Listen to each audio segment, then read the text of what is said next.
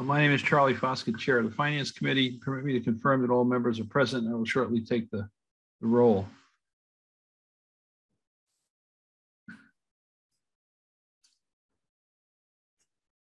This open meeting of the Arlington Finance Committee is being conducted remotely consistent with Governor Baker's executive order of March 12, 2020, due to the current state of emergency as a result of the COVID-19 virus. To mitigate the transmission of the COVID-19 virus, we've been advised and directed to suspend public meetings. And as such, the governor's order suspends the requirement of the open meeting law to have all meetings in publicly accessible physical locations. Furthermore, all members, public bodies are allowed and encouraged to participate remotely. The order, which you can find posted with the agenda materials for this meeting, allows public bodies to meet entirely remotely so long as reasonable public access is afforded so the public can follow along with the deliberations of the meeting. Ensuring public access does not ensure public participation unless such participation is required by law. This meeting will feature public comment only in writing by email to tbradley@town.arlington.ma.us.com.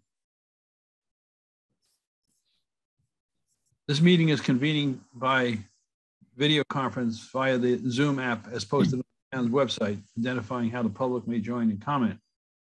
Please note that the meeting is being recorded and that some participating by video conference. And accordingly, please be aware that other folks may be able to see you and take care not to screen share your computer. Anything that you broadcast may be captured by the recording. Supporting materials that have been provided members of this body are available on the town's website unless otherwise noted. The public is encouraged to follow along the posted agenda unless the chair notes otherwise.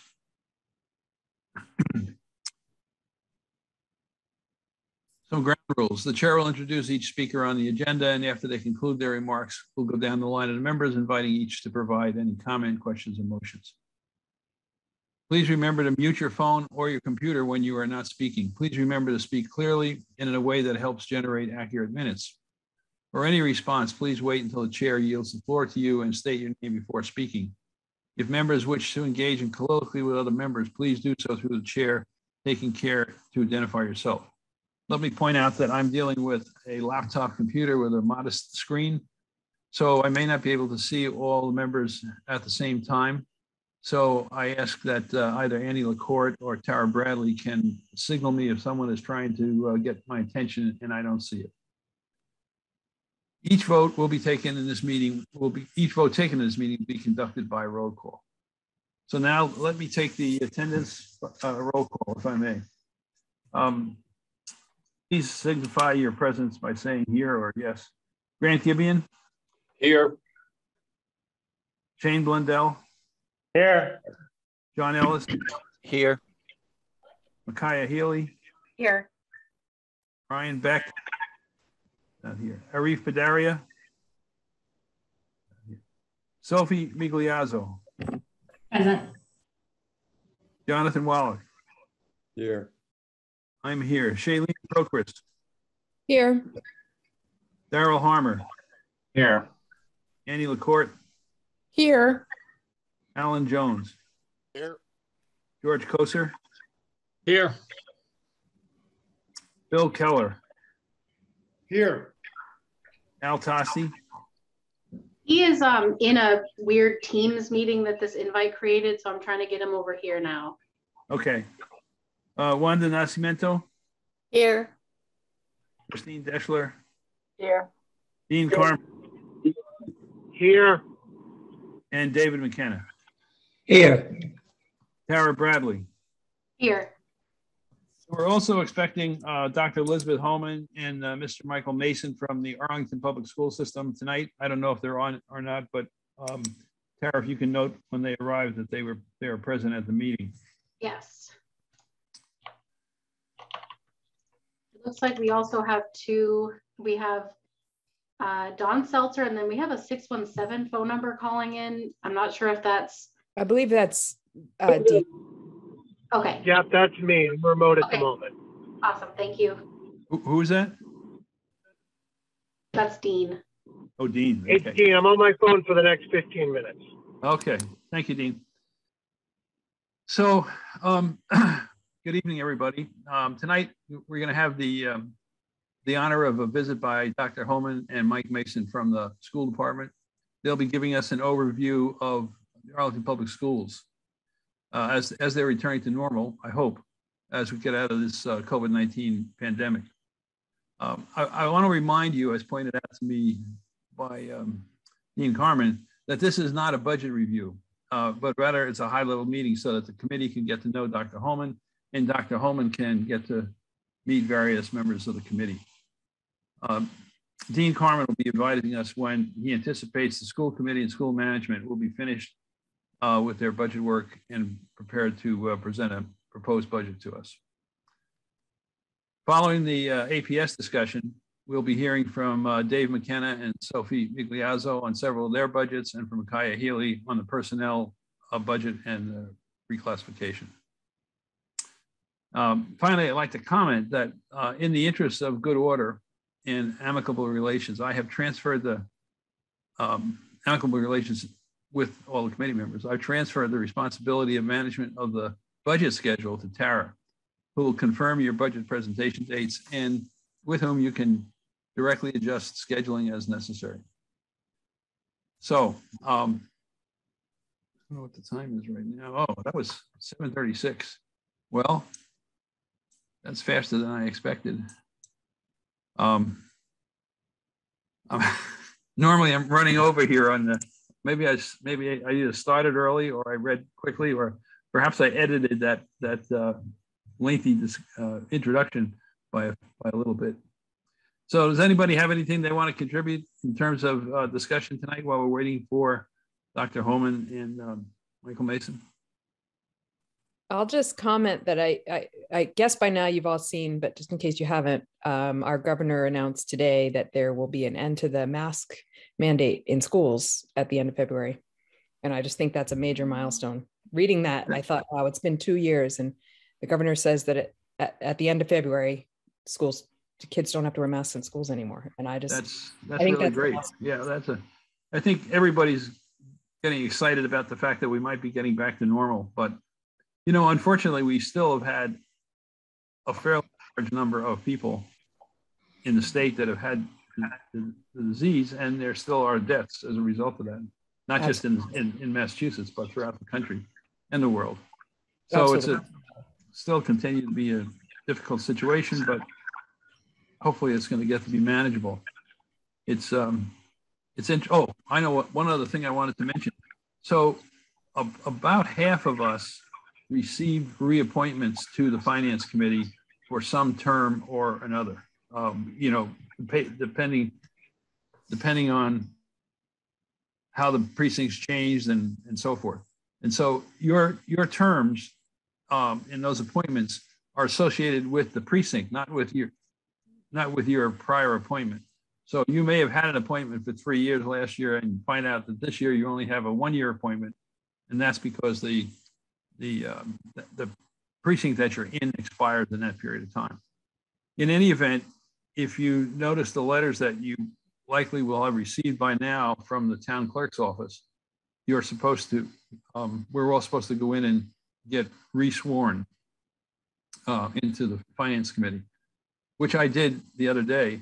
And I, as uh, just thinking of Shailene's comment, um, this is the first time I've been in town hall in two years, which is just somewhat amazing. It's a strange, strange world that we're living in. But I, I don't- I do encourage you to, to um, uh, go down to town hall and, and then sign in. And then, um, I mean, swear, swear yourself in. And then, um, Tara, um, do you have the list of people who are current on their ethics training? Um, let me get back to you on that. Okay, well, let's say next week or something like that, or Yeah. next meeting.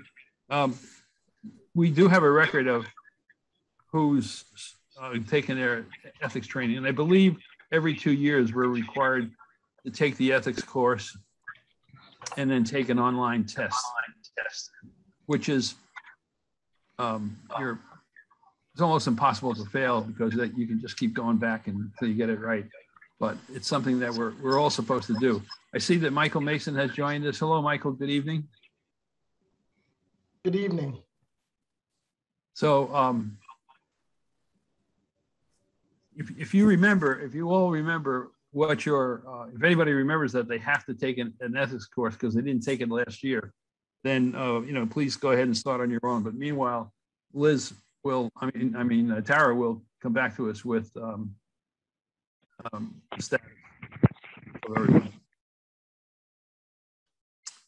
So, Michael, how are things over at APS? Very good. Good. Very good today. We're doing very Good. well over here and uh, uh, tr- working along on budgets and uh, working on the uh, the updated uh, COVID protocols and whatnot, hearing that from the governor and uh, trying to figure out what we're going to do next. That, I, I don't know, Shailene just mentioned the governor announced that no more masks in school and as of the end of February. Yeah, they're letting them the mask mandate expire on February 28th. Yeah. Yeah, that's good. I suppose that means that uh, this is Shailene. Hi, Michael. Um, it's possible that Arlington will choose to continue wearing masks, but it just means the state is not mandating it anymore. Is that your take as well? Correct. Correct. Yeah. Baby steps. Yes. Leave it to the local municipalities to determine how to best handle it. Right. So I don't, I suppose Charlie doesn't want to comment right now on how soon this committee will be back in person. I uh, can't wait, actually. I mean, I'm really looking forward to it, but um, I don't know what our town regulations are right now. Um, and, and I don't know,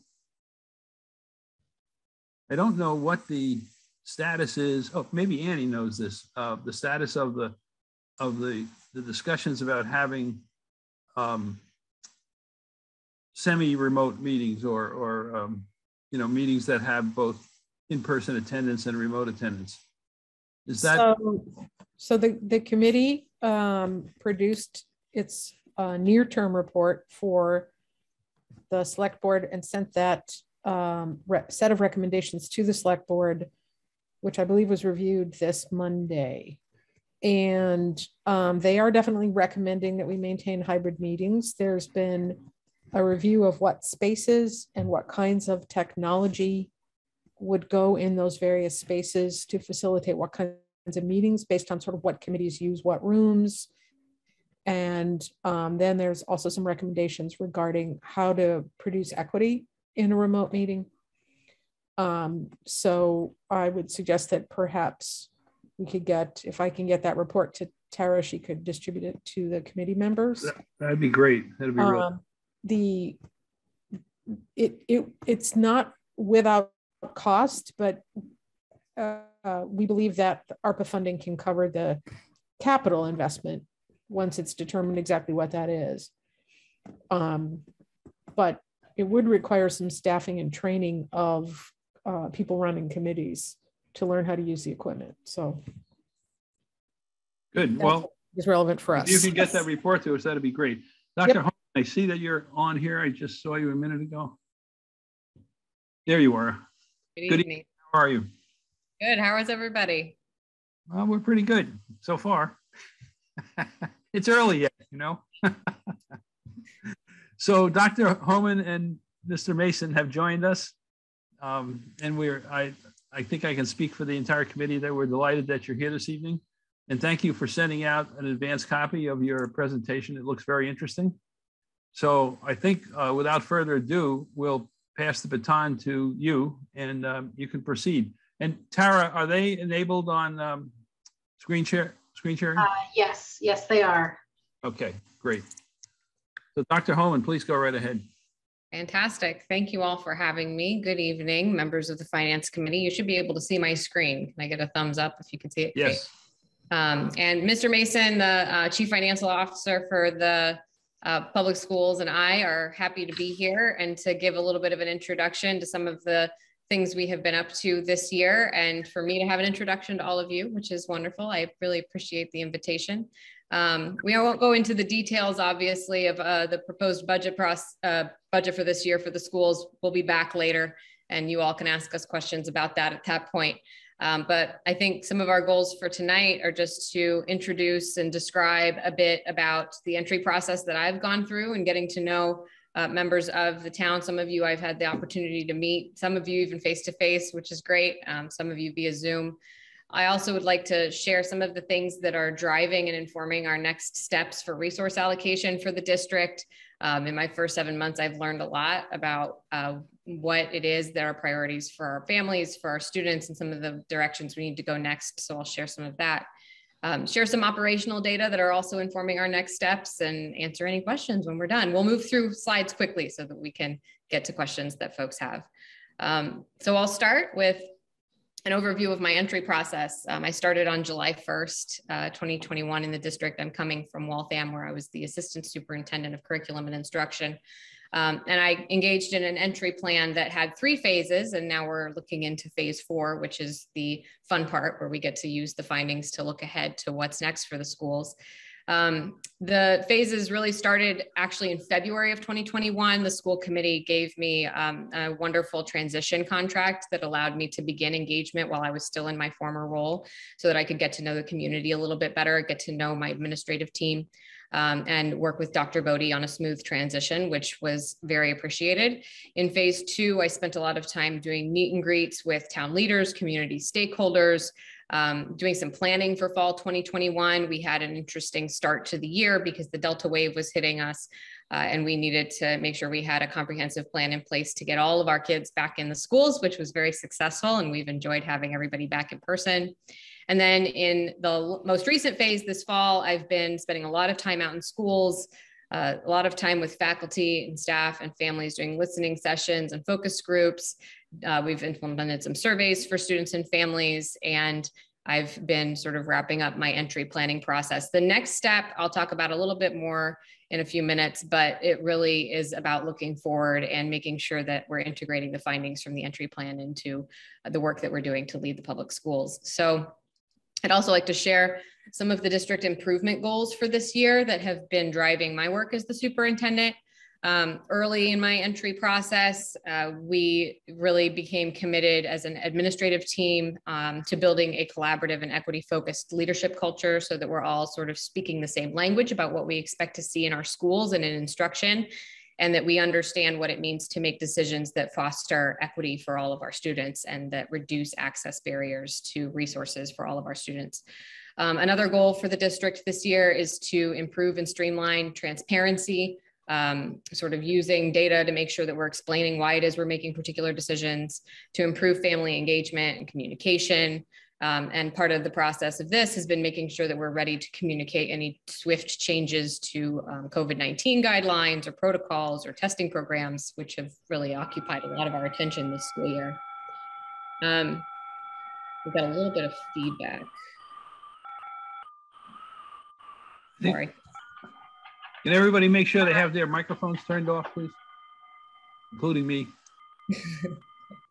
um, and then the last district goal is for this year is to make sure that we're supporting a safe and supportive pandemic return and recovery. Like I just said, our attention has been um, stretched across trying to be proactive and making sure that we're reacting to changing policies and procedures that are coming from the state, from Mass Department of Health, and um, in collaboration with our local Department of Public Health.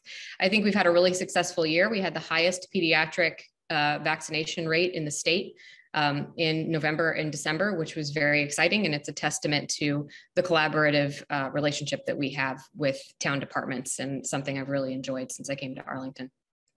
So I want to talk a little bit about what we're seeing in our academic um, in our academic outcomes. And, and these things are things that really will drive some of our decision making around the budget for this year.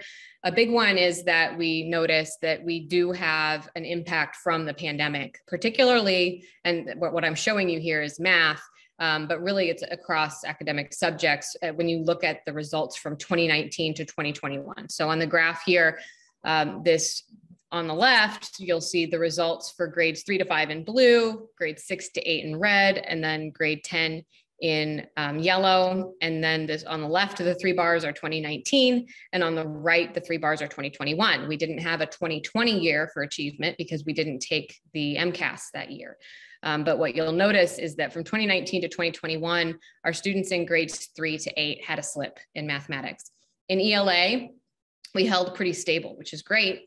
Um, in terms of achievement, but we of course want to see our students improving. We definitely don't want to see them slipping.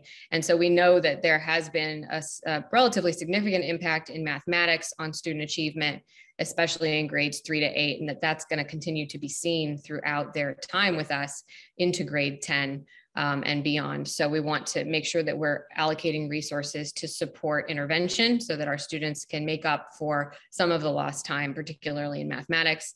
Um, and then on the right hand side, what you'll see is something else that we look at quite closely, which is the achievement gap between our students. Um, in this particular graph, you're seeing our students who uh, have identified as Black and our students who are white in red. Our students who are Black, their achievement is represented in blue. And you'll see that that is a gap that is present, um, not only present, but also growing. And so we want to see those lines come together over time and also both of them to go up. And so it's concerning to us when we see those trend lines separating more over time um, and going down. And so those are things that we look at closely across every disciplinary area, uh, across multiple years, across grade levels, and do a lot of analysis around at the start of the year that helps us inform our planning and our priority setting as a district and also for our school improvement plans. Something else academic that we're noticing, this is ELA uh, performance on some of our formative assessments that we do. And we did formative assessments in 2020 because we didn't have the um, benefit of doing MCAS, so we could monitor those scores. And so these, uh, this chart is showing you the fall 2020 assessment um, for grades three and then four in this column, and then grade five. And it's showing you 2020 compared to 2021 for our young learners in multiple domains of literacy. So I'll explain this a little bit slowly because there's a lot of information here. Um, if you look at fall 2020 and 21 in the yellow areas, you'll see that there's an impact from the time when students were in hybrid and remote instruction in fall of 2020 to fall of 2021, students in the same grade were noticing a slip there. Um, and particularly in areas of vocabulary and comprehension of informational texts and then a little bit as well in phonics for these two earlier grades, third grade and fourth grade, where we expect those phonics skills to begin to be pretty solidified. And so this gives us some level of concern with regards to COVID impacts for sure, but also when we look at curriculum, because we wanna make sure that we're setting our students up to build vocabulary and content knowledge over time and setting them up to be able to critically read informational texts over time.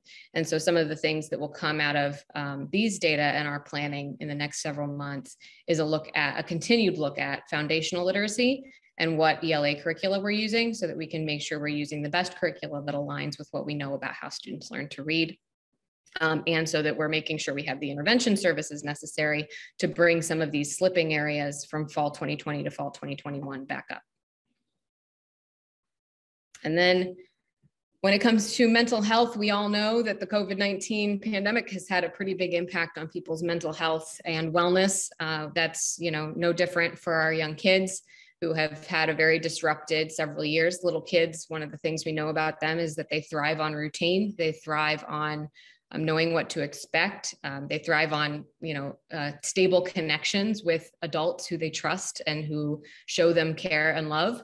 And so when we have as disruptive of a last couple of years as we have had, we expect to see elevated um, or even clinical levels of things like anxiety, depression, worry, concern um, that get in the way of students being able to learn. So this, this is intimately connected to what we see happening academically. What you're seeing here are results for our elementary school students on a mental health screener here on the left-hand side. This mental health screener asks students questions about um, their levels of relative worry. Worry is something that young students can express or understand um, as something that happens. And so we ask them a series of questions on the Penn State uh, Worry Questionnaire for Children, which is what this stands for. And that questionnaire sends us results about whether or not students have an elevated level of general anxiety or whether they have a clinical level that requires immediate attention and intervention.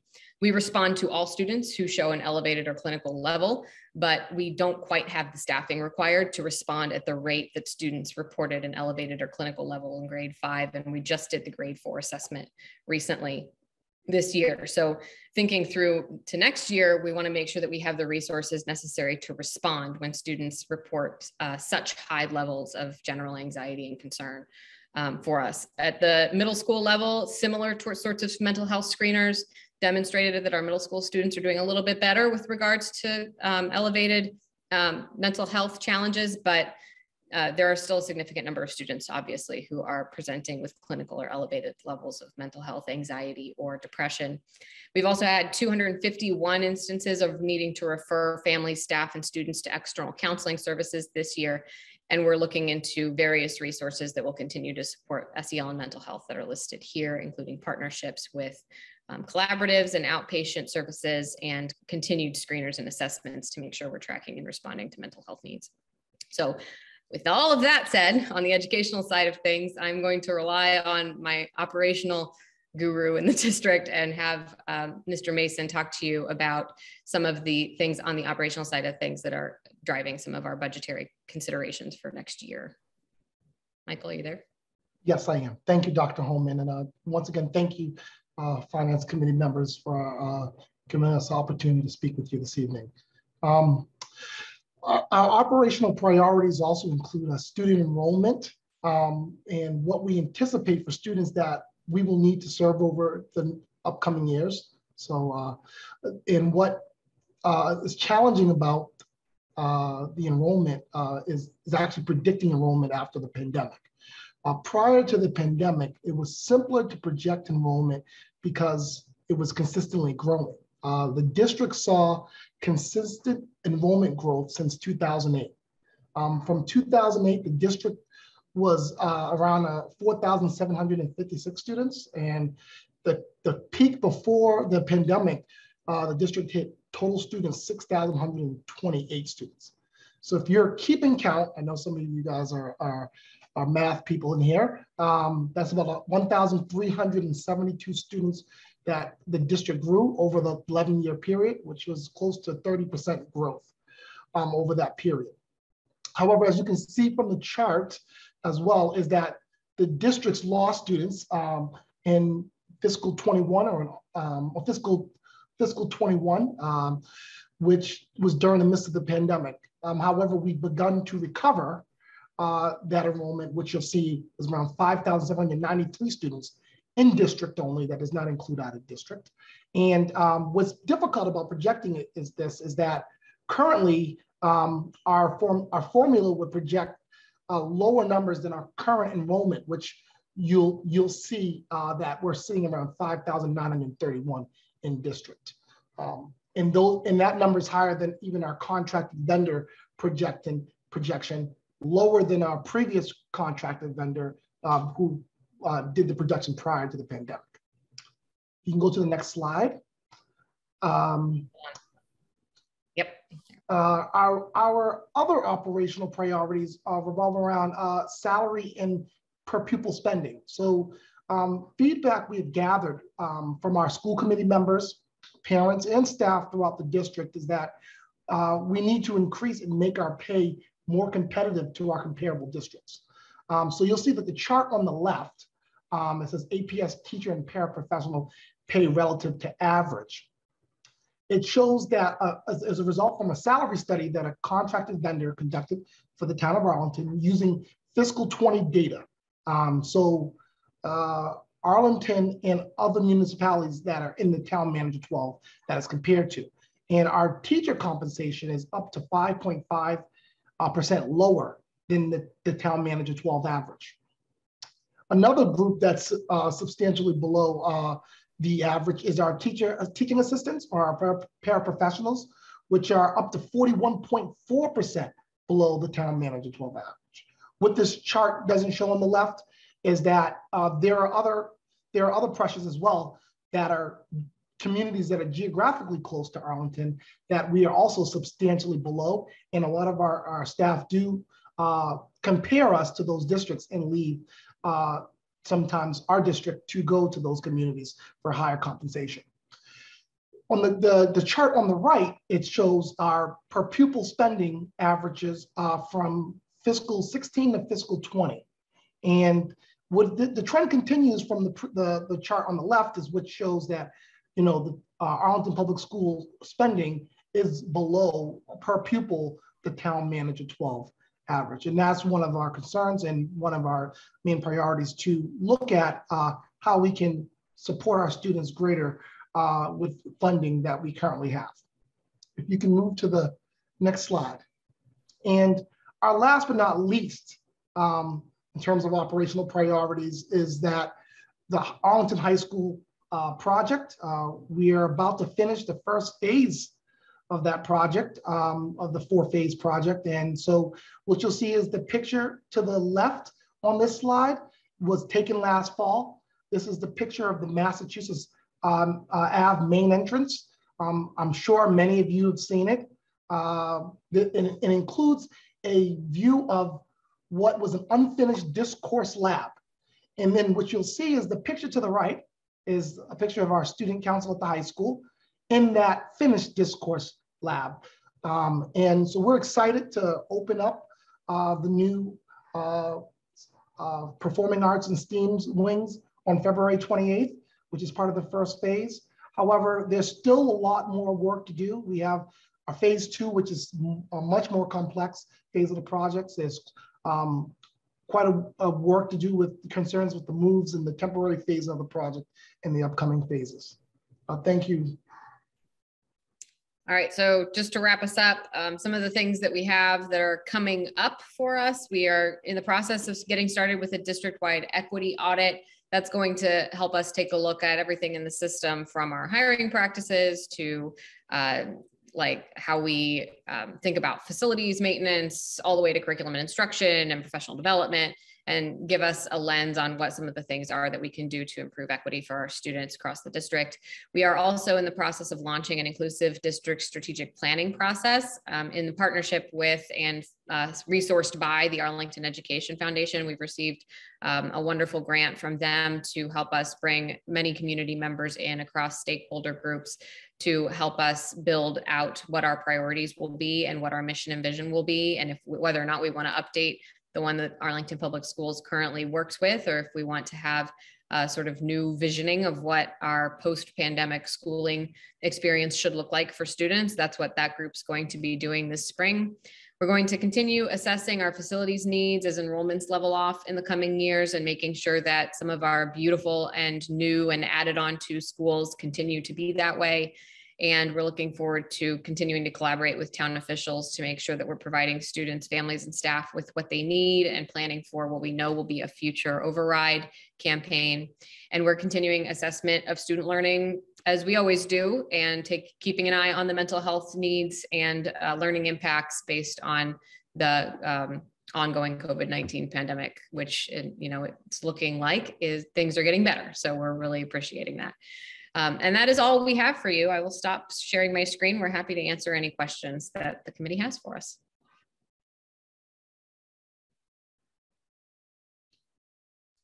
Looks like Jonathan Wallach had his hand up first. Thank you, Dr. Homan. Um, that was really uh, very interesting and inspiring. And, uh, Jonathan? Yes, thank you, Charlie. And uh, thank you, Dr. Homan, for that presentation. I was wondering if you could actually share your screen again. Sure. Um, because the I noticed that the enrollment slide um, was a little different than what had been distributed to us.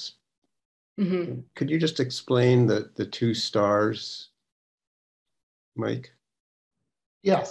Um, so this slide, I'll re, re uh, restate that this slide is a slide of uh, in district enrollment only. Um, and so what you'll see is I highlighted two numbers. Every year we submit to the state of Massachusetts uh, Department of Elementary and Secondary Education uh, our student data. And we certify that data and it's certified as of an October 1 date. So the 5,793 uh, figure that you see, that is the actual October 1 certified date. However, after October passes, we still we're still open for business. We still allow students to enroll into our schools, and our current enrollment as of January 25th, 2022, was 5,931 students, which is substantially higher than the certified number submitted to the state. And so, and, and what was the, the peak um, in FY twenty there? What So the that? peak, the, yes, so the peak was at, at, um, for uh, total students, which would exclude, what this number excludes is out of district students. So what I spoke about earlier was the number was six thousand one hundred and twenty-eight students, which was total students. Uh, special, uh, the out of district students at that time was a, about hundred and eight students, so it would be less of hundred and eight students. So it was about six thousand 20 students that were in district. So is it fair to say that enrollment has pretty much bounced back to where it was at its peak? I mean, I'm just looking across the two, from the star to the peak on the curve there. Yeah, I mean, yes, we're close to bouncing back to where we were before the before the pandemic. Great, thank you. Shailene, Yes, thanks. Hi. Um, I was struck by the uh, equity graph, and I'm assuming that the difference between white and black is representative of other underrepresented groups as well. Like that you're just giving us some basic data to look at. So part of me as an educator wants to know, well, what about other groups? Are they also um, declining? But my question, it, I'll let that one go because we're trying to focus on finances here uh, or implications for resources. Um, my question is it seems to me in looking at this, you're going to be making plans soon for how to mitigate these effects. I mean, it's Mhm. not a surprise that there's an impact from COVID. Um, in making plans to mitigate the effects, do you think you'll be doing more of the same services? Is it just a matter of more students needing services, or will you need to add other kinds of services we haven't offered before? So I'm thinking of summer reading services because you are showing us language arts. Um, so my question is really, it, it, uh, if you know already, maybe you don't know yet, if it's a matter of just more volume of students needing services, or whether you think you'll need to offer other interventions. And then the follow-up question, I'll just put it out there, is whether there's similar data about math. Oh, I guess we do see math on the left, but okay. So go ahead. So this one, yeah, this one is math. Um, I can say, yes, we do see similar trends in terms of gaps with students who have IEPs, with students who are high needs, with students who come from low income families. Um, interestingly, we don't see the same gap in particular with our students who identify as Hispanic. Um, that gap actually has been closing. And so that's worth us investigating further and finding out why, what's been successful in those cases. Um, I'll stop sharing here real quick. Uh, the what I do think is going to be important, and this is something we've been talking a lot about, is that if we continue to do more of the same or more like just sort of add it, continuing to add services on without doing an assessment, which is why the equity audit is going to happen, of how we're structuring those services and how we're organizing ourselves with the resources we already have, then you really risk actually making the gaps worse. And so, what we're going to start with is that assessment of how can we reorganize ourselves? And this actually is a good way to sort of fiscally think about resources as well. How are we organizing the resources we already have to make sure they reach the largest number of students? And this is really important that we're not pulling students out of core instructional time um, or denying them access to what their peers get access to because we're offering them these additional services. Because when you do that you exacerbate the gap. You make it worse um, because you're you're denying access to something that students should otherwise have. And so step one is to really assess how we've organized ourselves and if we need to do restructuring to do some of those things that does take resources because it takes people's time. Um, it takes a lot of conversation. Oftentimes those changes are the hardest ones to make. It can be easier to slap additional on top of what exists and harder sometimes to restructure what's already there. But we know that that is probably going to be the thing that is most likely to close the gap so we're starting there.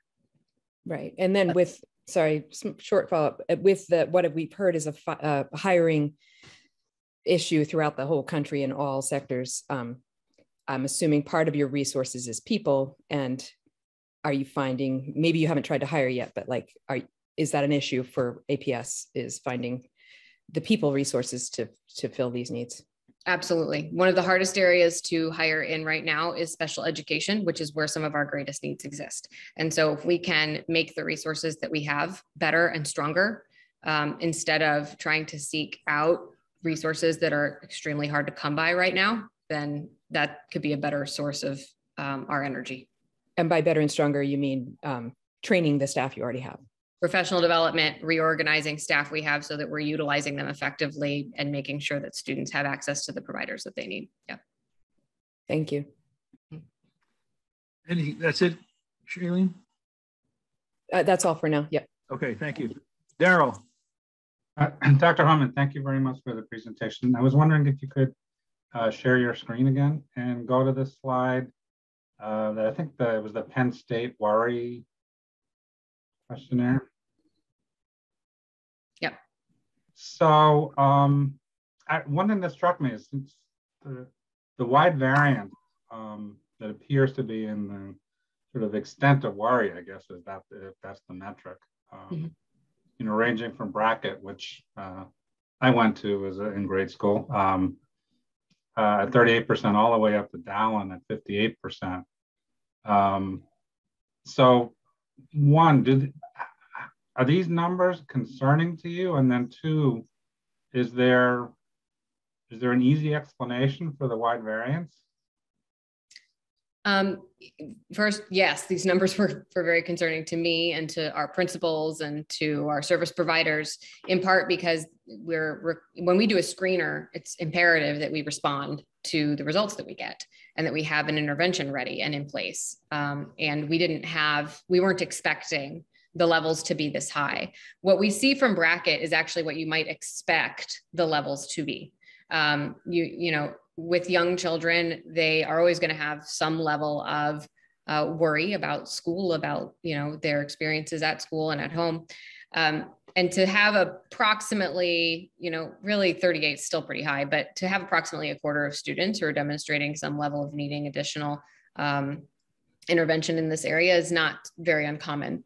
Uh, the, the range up to like 58% or up to half is something that um, made us think, okay, we're not able to respond to this in like just logistically in the way we might in a normal year. And so we need to think about it holistically.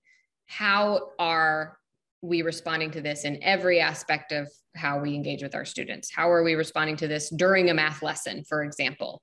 Um, how are we recognizing when students are experiencing a heightened level of anxiety and being able to better notice that as educators? So, those are some of the conversations that are happening um, now so that we're not only responding to this in the way that we might have typically, which is to give students counseling groups. Um, what is important to note here, though, is that we have uh, programs for students, um, special education programs, specifically at some schools. Dallin is one, Hardy is one. Um, we do have a program at Brackett, but it's being phased over to Hardy. And we have one at Pierce um, and another one at Stratton. And particularly at Dallin and Stratton, those special education programs, which are substantially separate programs, um, are programs where you might actually expect to see some of these elevated or clinical levels of uh, concern amongst those students. And so that could be and one of the things that's impacting the variance that you see between schools, um, we look at this up against other data as well. So, you know, does this track with academic data? Does this track with survey data that we, we do comprehensive surveys with our communities and ask our parents to give us feedback? Um, if we see a trend somewhere is this trending with regards to school climate or parent engagement with us or other things that we're seeing so that the school can build priorities around this proactively for next year. Um, so that's one way that we respond. But yeah the range was surprising. Um, the response needed to be adjusted. We actually hired in an additional coordinator for services during the middle of the school year so that we could respond to this um, who we plan and we plan to keep that role on for next year just so that we can continue to coordinate the response to things like this. And we're considering using some of our ESSER dollars our grant money that comes from the state um, for covid response to add some social workers over the next couple of years just so we have a heightened number of providers who we can you know send students to when we have results like this and we have a response plan for that. Hope okay thank you very much. Thank you daryl Al Tosti.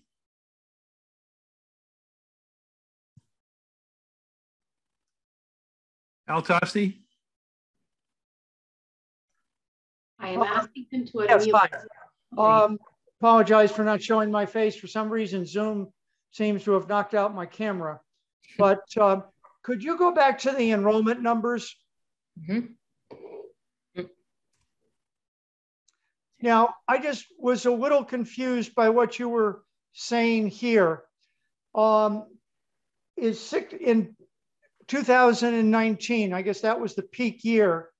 You said there was 6,020 students not counting uh, out of district. Is that correct? Um, that's what. Mr. Correct, I'm sorry, I'm sorry. And how many out of district students were there at that There should time? have- There should have been around hundred and eight students, if my memory serves me correct. I can, uh, Okay. Now, do we know how many students were in January of that year as opposed to October? um, not at this moment. I, there's, but there are snapshots that we do submit to the DESE, which have occur actually in March and then again in June of that year. Um, I could pull those numbers up, but not at this very moment. You don't have an answer for you if you're looking for that. I, I just want to make sure we're doing apples and apples. And the other question is, the five thousand nine hundred and thirty-one, is that include out-of-district students or is that just in? That is just in district students. Okay, so the six thousand and twenty and the five nine three one uh, are just in district students. Correct. Okay, so we're about ninety short of, of what we were at that time. Um, would you usually gain students or lose students from October to January in a normal year? We, we do normally gain students um, throughout the year, but not the level that we've gained this year. Okay. So if you could uh, maybe shoot us an email what the January 2019 or 20 peak year, uh, I'd appreciate it. Just, you know, so like I said, we have apples and apples. Um, could you put up the uh, salaries chart? Of, of each of these, where are most of the teachers? Our, most of our teachers are, are in the masters or the masters 15 range. So are you thinking 50, 60, 70%? I would say uh, probably closer to 50 to, to 60% are in the masters, the master six, 15 range. Okay. Okay, thank you very much. Thank you, Al. Um, Anybody else have, uh, Shailene for the second time, unless there's somebody else who, who's got their hand up that hasn't been recognized. I think John Ellis, did you have your hand up before? I took it down. Thanks. Okay, Shailene.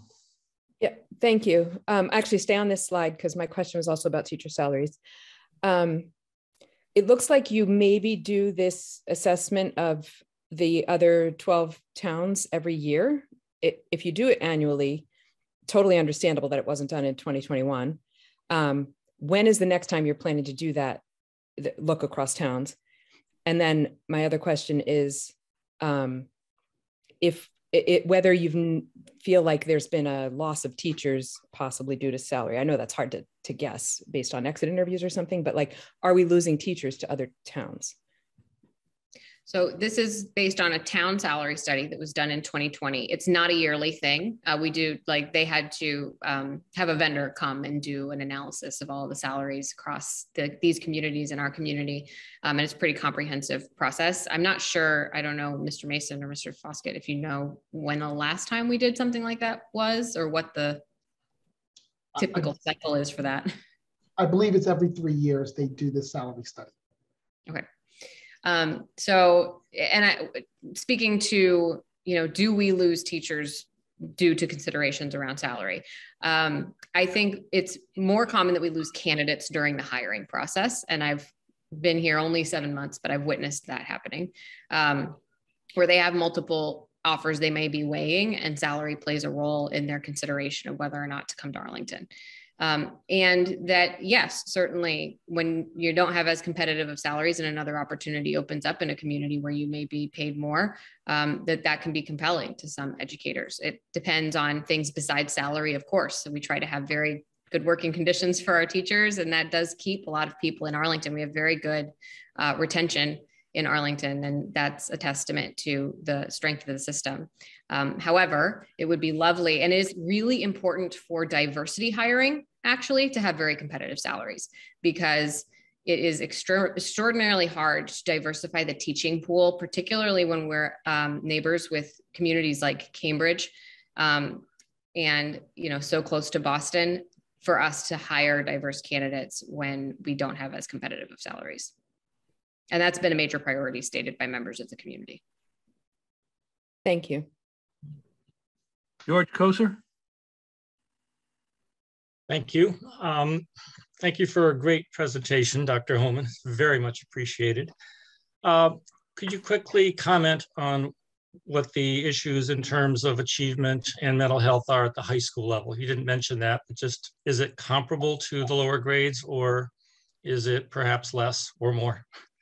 What I will pull up if we go back um, is what you'll notice on this slide. You're right, I didn't talk about it a lot. There's a lot of um, grades three to eight, but if you look at grade 10 on the math achievement, it was pretty level from 2019 to 2021. And that's been true for the data we've looked at for the high school is that it's been fairly level in terms of achievement.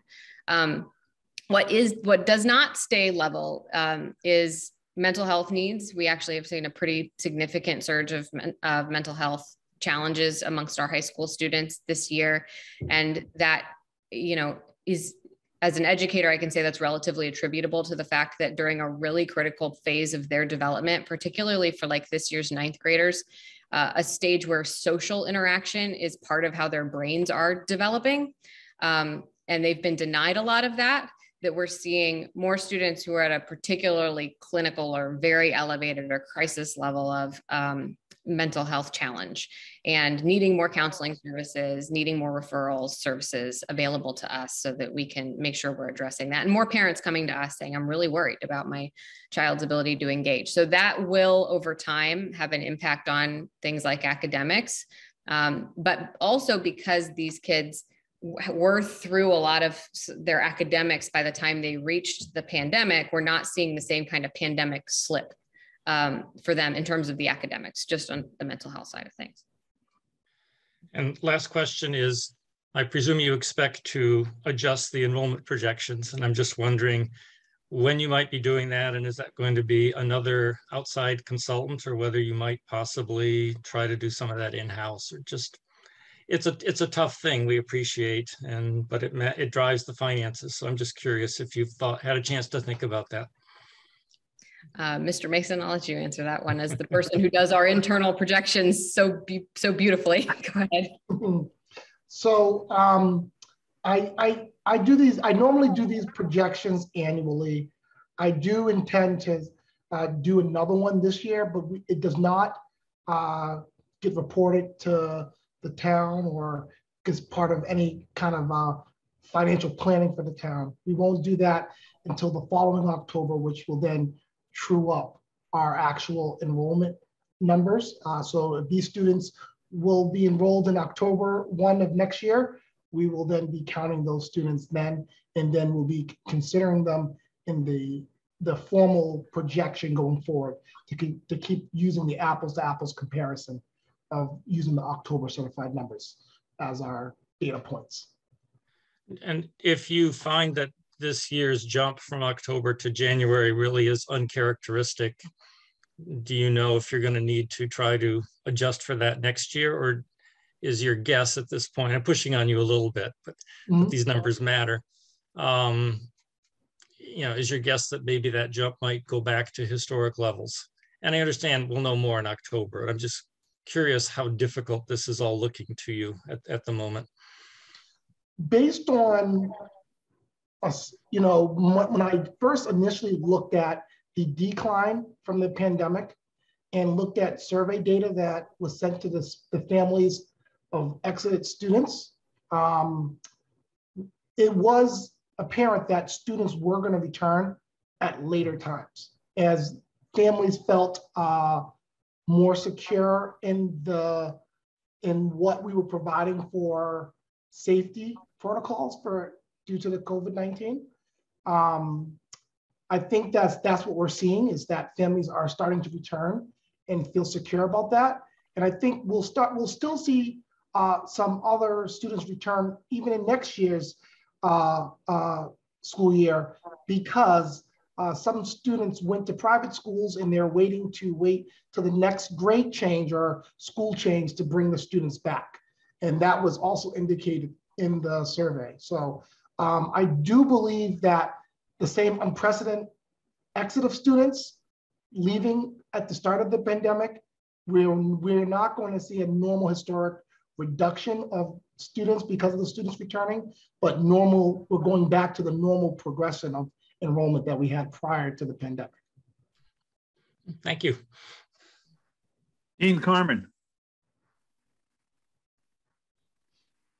So as we, as I think we're sort of winding down right now, um, so I, I really have more of a, a comment that I'd like to, or observation I'd like to share with the committee um, as one of the three people that, that reviews the school budget. And um, the observation is, I would say I've been as an observer during school committee meetings on YouTube and or ACMI and whatnot in the budget subcommittee. I, I've been very impressed with Dr. Homan's approach towards um, taking over as superintendent. And, and the thing I've been most impressed about, and you all got to see it tonight, is, is that she immediately recognized that we have a structurally sound district that does have some issues that need to be worked on, but it's structurally sound. And so in, in, her work moving forward, she's gone after the problems, right? Like I think sometimes when you take over in a leadership role, there's this idea that you're just going to blow everything up and, and imprint your your mark everywhere. And, and she's really had the wisdom to not do that. She's had the wisdom to assess where the strengths, weaknesses, opportunities, and threats are. And she said, look, these are strengths. I'm not going to break them. And these are problems, and we're going to deal with them. And that's been great. I mean, it's really made the transition smooth. It, has been, I mean, it, it's been great. Now, that being said, not everything is perfect, okay? Because she does refer to me in emails as Mr. Carman. And for you all know me, and you've now seen how great she is. And for her to dignify me with that title, I'm going to I'm going to convince her that I am Dean and she is Dr. Homan, and that's how it's going to be. It's going to take the whole year. It's going to probably take next year, but the more she gets to know me, the more she'll understand it. So, thank you. I'll call you Dean when you call me Liz, Dean. Under no circ, I when I met Dr. Homan, I told her there will never be a circumstance where I will refer to her by that name in any forum. So there we are. Dr. Thank you, Mr. Carman. We appreciate your comments. I appreciate it, Mr. Carman. Thank you. Grant Gibian? Yes. Thank you, uh, Charlie. Um, yeah, I had a question about the need for um, counseling services, and is there any um, connection or use um, between the um, need and the uh, are the Arlington uh, youth counseling services uh, that we have here in town? Yeah, we have an agreement with them and we do refer services out to them pretty routinely. And we actually have them come in during parts of the school day as well. So they offer great services that we use to supplement um, often with our students and families. So very good. Thank you. We take advantage of as many partnerships as we possibly can. Other questions? Well, if I may, uh, Dr. Homan, uh, I have three questions. Mm-hmm. And one is going back to the the the, the slide that had the uh, the different grades on one side, the equity on on the other, and I think there was one slide that had five years as opposed to just a couple of years with respect to um, uh, COVID, and there was a decline. That's the one. Yes, there was a decline of of um, achievement starting in 2017 going up to 2019 mm-hmm. uh, i'm just wondering if there's any as does anyone have any reason to, to, uh, or any suggestion as to what the reason for that might be? Um, I think, you know, this is, yes, you're seeing a little bit of a decline. I mean, I think it's important to take a look at, so overall, this is actually pretty stable in part because if you look at the scores and achievement for our white students, you go from 508.4 in 2017, and this is their sort of um, like raw scaled score on MCAS, to 510.7 in 2019. There's a slight increase from 2018 to 2019. Um, but then there's the dip in 2021. So you're seeing the pandemic impact sort of pull that line down, Okay. whereas it was stable up until then. And it's relatively stable, like from 487.3 to 487.6 is actually a slight increase for our for our African American students from 2018 to 2019, and then it gets pulled down by the pandemic. Um, so what we'll watch for over the next few years, like we will always look at multi-year forecasts for performance, and we do this in so our ad, admins analyzed all of this in preparation for building their school improvement plans over the summer Next year, we're hoping to include teachers in that institute so that they're part of the planning and priority driving. Um, we also include school councils in this so that they're looking at this data and they're saying, okay, we really want the schools to focus on this problem area that we see. Um, but what I think is the number one thing to pay attention to over the next few years and that I'm really hoping will have a big impact on is the difference and the room and space between those two lines. And we do, we make this exact graph for all sorts of different focus groups of students. Um, and I try not to call them subgroups because sub implies below. And really it's that we need to pay attention to what particular groups of students need and make it a focal area. And schools need to say, we're going to change this um, about how our students are performing. But yeah, it, it, it's a little misleading on the five-year outlook only because of the impact of the 2019 to 2021 um, it sort of pulls that line down a little more than is accurate. Thank, thank you. I can see now that if we if we cut off 2021, those two lines would be almost flat. So. Mm -hmm. And flat's um, not great. We'd like to see them go up. I understand, but I'm just saying that. Uh, so the sec second a second question has two parts. And um, this year we're seeing an increase in the enrollment at Minuteman and and the uh, um, assessment that we're getting from Minuteman. Um, so, what is your view of the impact of the new Minuteman High School on our enrollment? And um, what do you think the impact of the new high school is going to be on our enrollment? Two parts that question. Um, so for Minuteman, I'm I'm new to being in a system that has a separate regional vocational opportunity for students, and that I came from a district that had an embedded regional vocational program in the high school. Um, and I think there are some things that are shifting and moving about Minuteman. It'll be kind of hard to project what we think the impact of that'll be. For example, they just turned over leadership. And so that could have a possible impact in the out years on enrollment. They have not, we have not been able to restore some of our um, programming with Minuteman that allowed our students with disabilities to participate in um, regional voc vocational education, uh, which actually was pretty disappointing to us. We would let, prefer to be able to offer that opportunity to our students with IEPs. I think that it's easier for me to comment on the impact of the new high school on enrollment in that as we are, some of the um, bump in enrollment that you see on that graph uh, for January, a large proportion of that relative to like all of our schools where that enrollment was seen was actually at the high school. Um, and so what that is coming right as we're about to open phase one. Um, and so we anticipate that we will see a lot more enrollment at Arlington High School as this new state of the art facility opens up. Um, that will probably realize some of that enrollment at the high school for next school year, but that we may even see more of it when phase two opens up in the fall of um, 2023. So um, that we're, we're watching that closely, but the projections actually do account for an expectation that secondary enrollments are going to increase for two reasons. One, the new high school, and two, the fact that enrollment groups that were really like new classes that were really large at the elementary level are now moving through the Ottoson and are headed into the high school next. Thank you very much. So um, one more time, I guess, to ask, are there any other members that have questions for Dr. Homan or Mr. Mason? Well, I don't see any hands. So, um, Liz, I'd like to thank you very much for coming tonight. Mike, thank you for coming. It's been a very great, uh, great presentation, and we appreciate the time you took to answer all of our questions. Thank you. We very much appreciate the invitation. So thank you for having us. It's been fun. Take care. We'll see you again soon. Yes, we look forward to it. Bye. Good evening. So uh, the next item on the agenda are uh, budgets. And uh, I think first uh, we have uh, D- David and Sophie. Okay. If you, um, the first budget I- I'd like to uh, address is our own budget on page uh, 17. Alan, if I could ask you, Alan Jones, could, could you put the budget, uh, budget page up on the screen?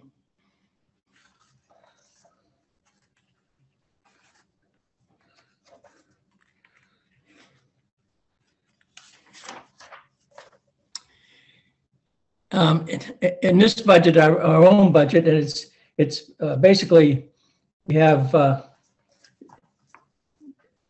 a- change, but not a change. As you all know, we, we we give stipends out to the chairman and the vice chair people, and also to the recording secretary. Well, that position has been taken over by Tara, our, our new uh, executive secretary.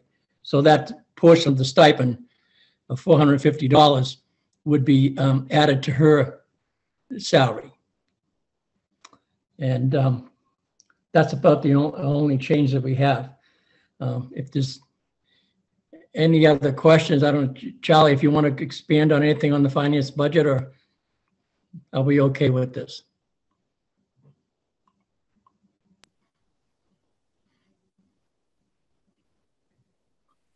I think the amount was 550. I Um, I thought it was, a- I'm sorry, 550, what did I say, 450? Yes, it's, Yes. it's, it's it's 550.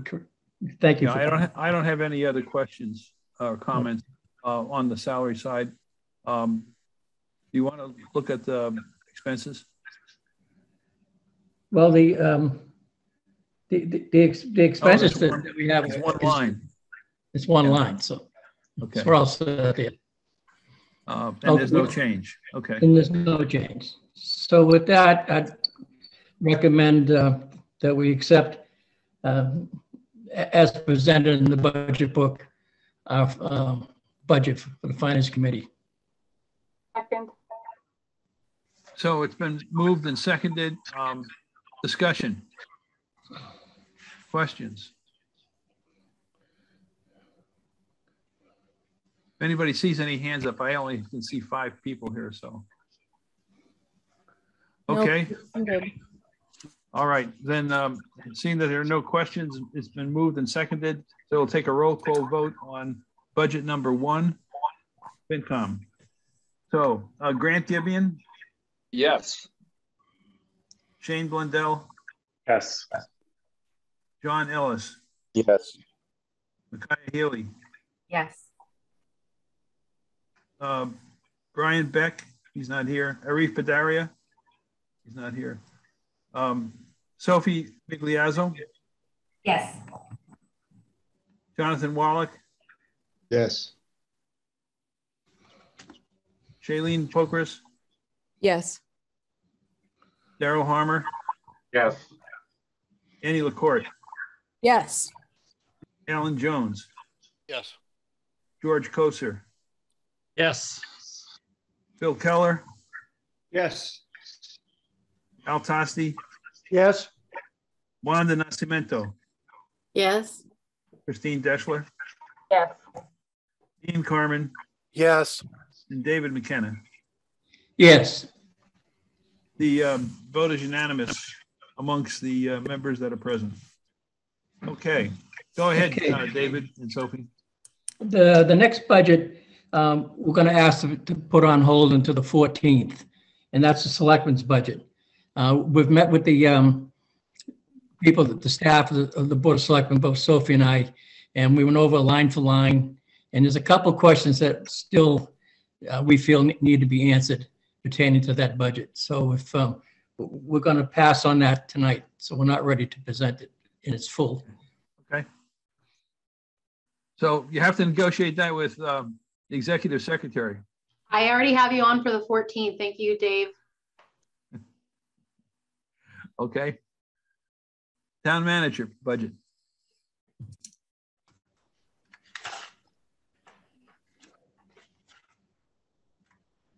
Um,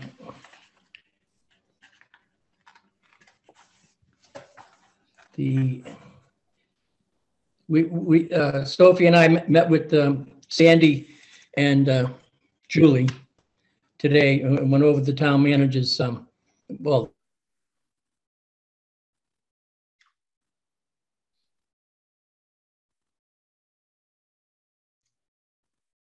Is he frozen? Oh, he is. David, uh, hear you, something's happened. Dave occasionally his um Zoom occasionally freezes. He had warned me, so he's. Do you want to see if he unfreezes or you? I mean, each year during. Oh, there you go. David, we lost everything you said. You did? Yes. Okay, well, then, well, start again. I don't know why, because I, I'm fine. Um, It's, uh,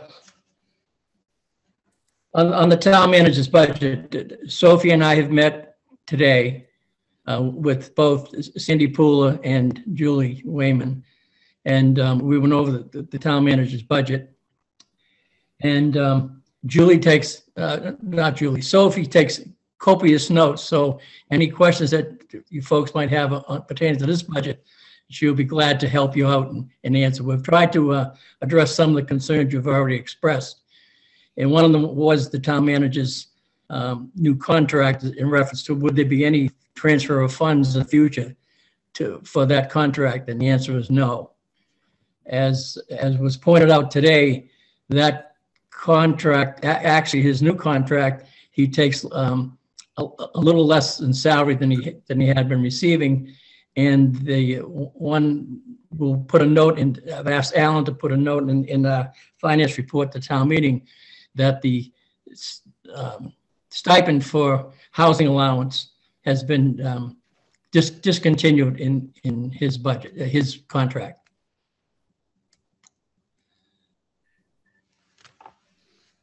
Questions? Sophie, do you- Sophie, do you, do you want to add anything, Sophie? Nope, I don't think so. Okay, Anyone then. have- Anyone have questions? Dave, did So you, I- want to- I'm sorry. I have a, a question. Does anyone, you know what's in that twenty-four thousand, uh, just about twenty-five thousand in the other benefits? Do I know what's, uh, what, what makes the other benefits? Yes. I- I gather uh, that the, the, the ninth, the twenty thousand reduction is is apparently the housing allowance that's referred to. It was, a- yeah, approximately around twenty-four thousand for hou- housing. They have, um, I do have a copy of the manager's new contract. And in the contract, it- that's where I've got this, um, percentage for the raises each year of one percent. He also has, it's, um, there's, uh, de- de- deferred compensation plan that, that, that he's always belonged to. And there's, um, um, there's also money for different things that, that he belongs to, different associations. And, um, I'm, I'm trying to go through it page for page, but uh, just long-term disability insurance reimbursement and, and, and things of that nature. So it's, it- it's pretty, the contract is pretty standard, other than the fact that it's, and when I say standard compared to previous contracts, with the exception of the, um, uh, housing allowance being taken, uh, out of the contract. And it's a three-year contract. Thank you. Okay. Any other questions on the salaries in the town manager's department, which is up, up on the screen right now? Makaya, Uh, I'm just curious about, um, the, there's no maximum listed and I'm curious if you know the history behind that.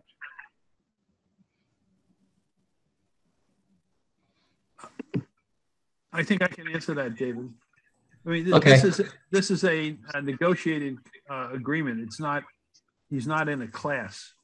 Right. in the pay plan. It's a, it's a sort of a arm's length negotiation, we hope, between him and the Board of Selectmen every year or every three years.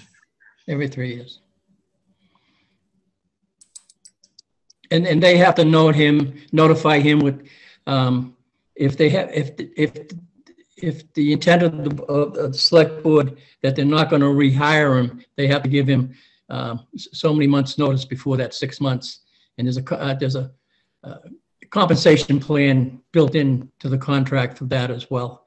Should they not decide not to rehire him, or there's another part of the contract that says, should he choose to leave, he has to give a minimum of 90 days notice to the, ti- to the Board of Selectmen.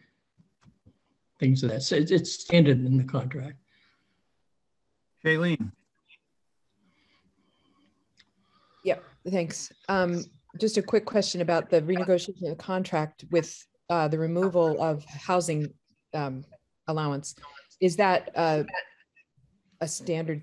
I'm just curious, like, is that a standard thing that's happening across towns or Arlington's trimming the budget and that was a way to do it? Well, go ahead. again, it- if, if I could, it's contractual, so uh, three years ago, they, they negotiated and they put it in his contract, and three years later, they negotiated, and all parties have to agree on this. They took it out of his contract. I, I, think it's fair to say that the, um, it was originally put in there um, because uh, he, he had moved to Arlington from somewhere else to be in the town. And the cost of housing here, as you, as we all know, is significantly higher. In the interim, um, the manager moved to, I think it's Norwood. So um, the compensation for the increased cost of Arlington housing went away. So we could expect this for the next two years at least, because Adam's going to have a three-year contract now. But then in the future, if a new contract were negotiated, we could see a housing allowance come back. Is that? Yeah, yes, yes. You could, the, anything come back, There were some things that we don't even realize. Thank you. Any other questions on the uh, town manager budget? I can only see a limited number of boxes here, so speak up. Okay, So, so hearing none, I- I'd like to make a motion that we accept, uh, as written in the budget book, um, the 23, fiscal year 23 budget for the town manager's office. Second, Second. it's been moved and seconded. Any further discussion? Okay, um, I'll take the roll call vote. Grant Gibian, Yes. Shane Blundell, Yes. John Ellis, Yes. Micaiah Healy, Same. Sophie Migliazzo, Yes. Jonathan Wallach, Yes, Shailene Pokris, Yes. Daryl Harmer, Yes. Annie LaCourte, yes. Alan Jones, Yes. George Koser, Yes. Bill, Yes. Bill Keller. uh, Al Tosti, Yes, Wanda Nascimento, Yes. Christine Deshler, Yes. Dean Carman, Yes. and David McKenna. Yes, Thank you. Uh, the vote is also unanimous on, this is budget, uh, three, right? Yes. Okay. Um, go ahead, David. okay, now we'll go to page uh, 58 for the, for the clerk, town clerk's budget.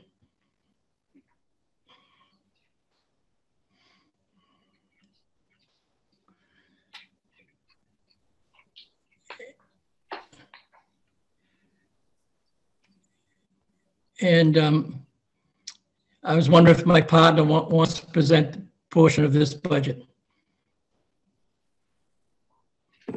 Uh, I think I'll let you go for it, Dave. Okay. Uh, Sophie and I met- met in, uh, we had a, a, a long conversation with the town clerk. Some of the questions that were asked um, at our previous meeting was, um, what was the situation with the in- investigating changes in, in, in uh, modernizing the, the town clerk's office. And there is a committee set up um, doing that in conjunction with the town manager and uh, I think Sandy Pooler and, and some other people as well. Um, They've, they're in the process, my understanding is, is hiring a consultant to, um, to look at that, but there's a lot of things going on in the clerk's office. Um, uh, and it's been very busy and there's also been personnel turnover in, in the clerk's office as well. And plus, our, cl- our town clerk is relatively new, as we all know. So anyway, um, they're working on, on that. They're also on the, um, on a side note, uh, under the town clerk's responsibility is the, there's an election committee that was voted in by town meeting. That committee has d- done some recommendations, and that committee is due to expire um, at the end of this coming town meeting.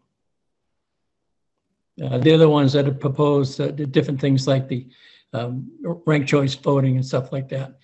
So the the clerk's office is, has been very, very busy. And in addition to that, the clerk's office has taken over the uh, responsibility, total responsibilities in the budget for the election. So, and they- they- they've done some um, juggling, uh, if you will, putting the, some of the things in their proper ca- categories as far as, it- as far as the budget goes. So I'll, um, I'll go through that. You'll notice that um, salary and and wages, um, uh, line 5100, there's an increase of 10,003. Um, That has to do with um, personnel. It- it- it- That has to do with some of the cost of hiring people for, for elections. As far as the staff in, in the clerk's office, they operate now with the clerk, assistant town clerk, and two other people in the clerk's office. So, um, a- and is, the overtime budget stays the same. Advertising, there's an advertising, if you, line 5201, uh, there's an increase of a, uh, let's see. Increase of, of a thousand dollars. So, um, a- advertising in the clerk's office and, and, and in a lot of the other departments, especially zoning and redevelopment, um, the advertising has, has gone up.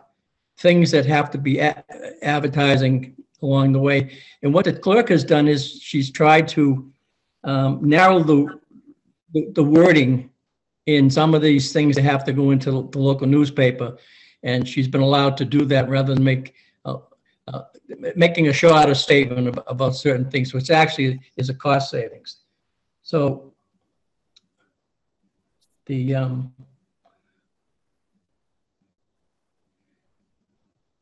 one of the things that, that were eliminated, there was hundred and fifty dollars on election night spent for an IT, per- IT person from, um, our, dep- our, our department, our data processing department, would stand by at the, um, on election night, and that, on any election, and that, that one hundred and fifty dollars has been eliminated. That They, they don't need that, that person anymore. So that's another, that's another little change. So with that, I'm just gonna t- turn it over to you folks that you have questions and see if Sophie and I can answer them for you. Alan Jones? Uh, Well, first, Da- David, I think the advertising budget decreased significantly. right? Yes, I'm sorry. I'm- Yeah. I've got a light, it, it, it actually decreased. And the reason why it decreased is exactly what I said, that she's Right. been able to shorten the wording in some of the stuff that goes into the, into the newspaper. Okay, uh, the, the question I had, you mentioned uh, possibly hiring a consultant to look at uh, efficiencies uh, and, and such. I don't see much in the way of expenses for that. Is that, is that funded? Is that serious? It, well, it, it, uh, again, it, it, it's, it's a work in progress, Alan. So I'm not sure at what point they're going to ask for that. cons- Okay, that well, looks like they're That not was a- asking That was a this year. warrant article last year. Yeah, it's funded under Oh. a warrant article. Okay, The thank warrant you. article. Thank you. And, Well- and, then- and then the last question is the seven thousand dollar reduction in printing licenses. We, we, uh, Sophie, we took notes on that. What, what- was that? Yes, so um, that, the bulk of that was because that's where they printed the ballots. That was the cost um, used for the ballot printing. And um, something that the clerk has really done an effort in is to make sure things are being uh, spent in the right categories and reported in the right categories. So that's just a transfer. Um, I think if you look on the election, uh, there's probably an increase in printing ballots There's, right. Okay, because it looks like the actuals in the previous years were actually significant higher than eight thousand. So I was wondering how I go from fifteen thousand to a thousand in two years, and if that's realistic. Yeah, so she's, the explanation we're given is if you go to the next page on um, election expenses, there's a, there's a new expense that wasn't there before, printing ballots that had zero before, and obviously there were expenses for printing ballots, they would just never put in the right categories. So now there's this twenty thousand here for, um, for that. And the Great. thousand, in the thousand that's left on the other left page has to do with the dog tags, for example. Th- Thank you. That totally explains it. And a, a- another note that, that, that I found interesting. Ap- Apparently, she's been, um, she's been working um, extra hard on co- coming up with a policy for dog kennel licenses in the town of Arlington. And that's, you, you you first glance, you say, well, but what's that? I guess the state has a lot of say in that. And um, so she, she's been working that w- with another working group on a kennel license for the town of Arlington. Presently, there are no kennel licenses issued in the town of Arlington. They were at one time, but n- none presently. But she's working, she, she kind of smashes up and working uh, diligently on, on this new policy that we have to have. So that's it. So if, again, if anybody else has any questions concerning this, this, this. Christine's um, actually goes. Christine?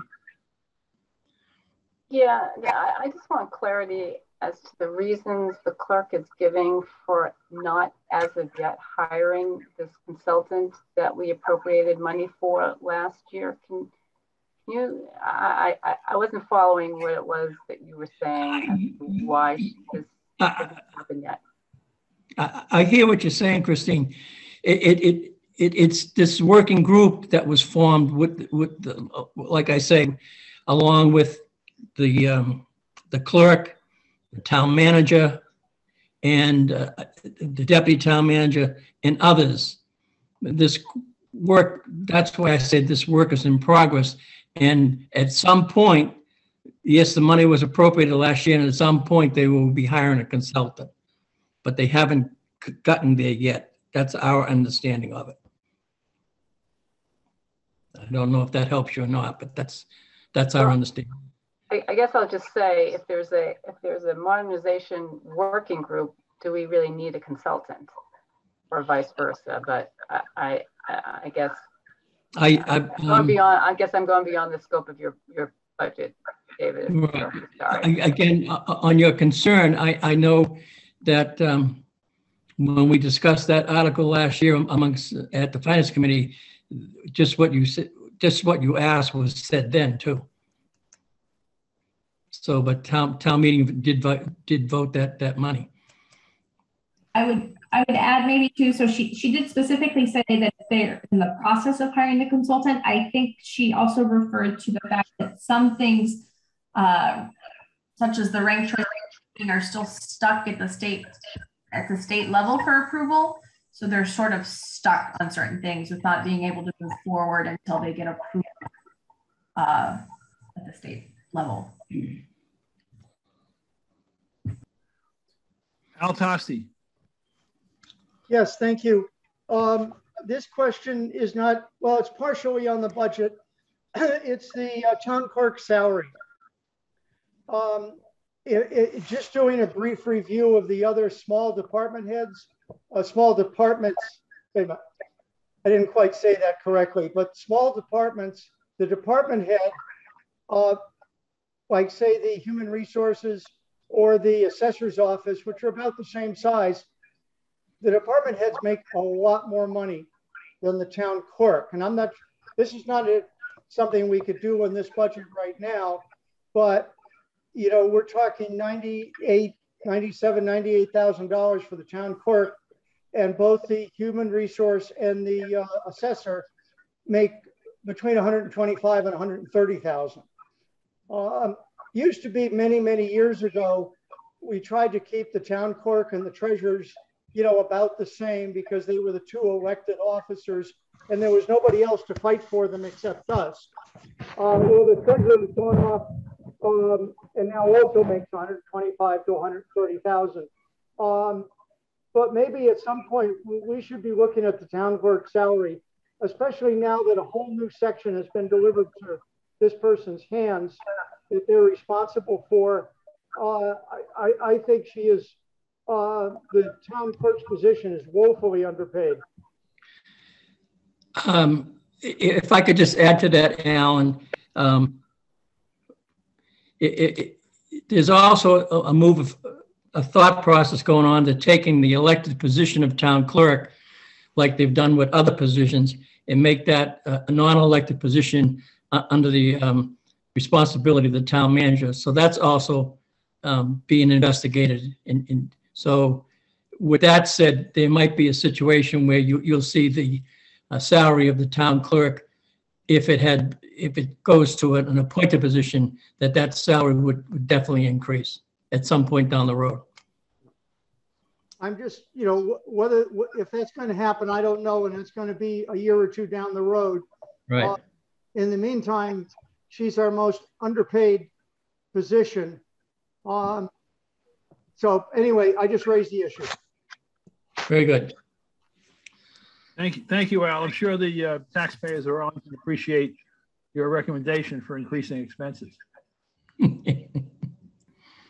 um, Shane Blundell. Thanks, Charlie. Just an odd question. What is this appropriate, the eight or seven for stenographers? I guess 8,000. What do we need? What is that role? Town meeting. It's just a st- stenographer is, that's the role of, an they hire to take the uh, minutes, the exact minutes at um, town meeting. Thank you very much. Okay. Sophie, you have a question? Well, I, I wanted to add back in just to clarify something regarding the move of the elections. So it became clear to us actually in our discussions with the select board um, meeting that elections were originally under the town clerks, which makes sense because that's where voter registration and everything is kept. So elections are probably under town clerk and they were only taken over by the select board, um, I guess as a favor when there were um, difficulties in, in handling the elections at the historically somehow at the town clerk's office. So it so it just got taken on as additional work for the staff of the select board and now it's just being transferred back to its original location at the town clerk's office. Yeah, you're correct, Sophie. And remember, that was years and years ago because it's been under the uh, the board of selectmen for quite some time. But you you you you're you're right. That's what they at one time it was under the uh, responsibility of the town clerk. Christine. I uh, this may be beyond a little bit beyond the scope, but I just want to follow up on on what Al Tosti was talking about in terms of the, the, the clerk's salary. I I have noticed that there are there's at least one other department head that I've thought her salary was um, lower than I would expect, and that was the library director who has a very huge staff. She's responsible for two facilities. Um, she's both uh, public facing, town facing. She reports to a board of trustees as well as friends groups. And I was surprised at what her salary was compared to uh, other department heads.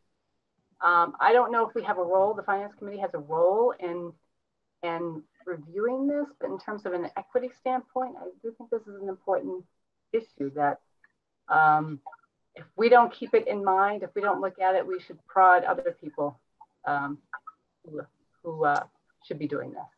So that, I just want to throw my two cents in on that issue.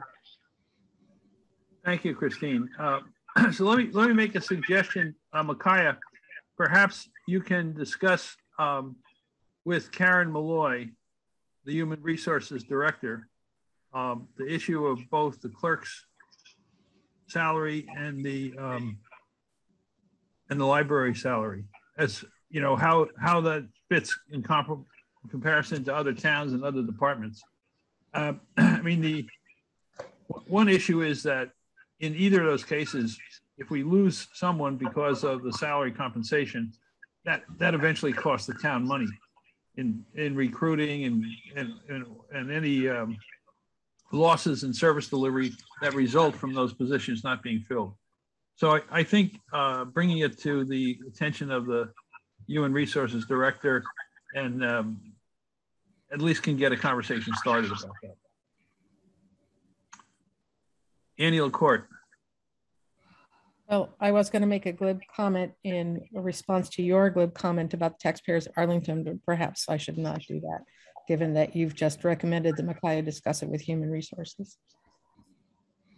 Well, you can make a glib comment if you'd like, if it would make you. Uh... I wouldn't just okay. do it for my own emotional satisfaction, Charlie. Yeah, exactly. Right. Okay. Uh, I just uh, thought that the uh, well, never mind. We're gonna, we don't need to digress there. So um, any further comments on the clerks or questions uh, about the clerk's budget?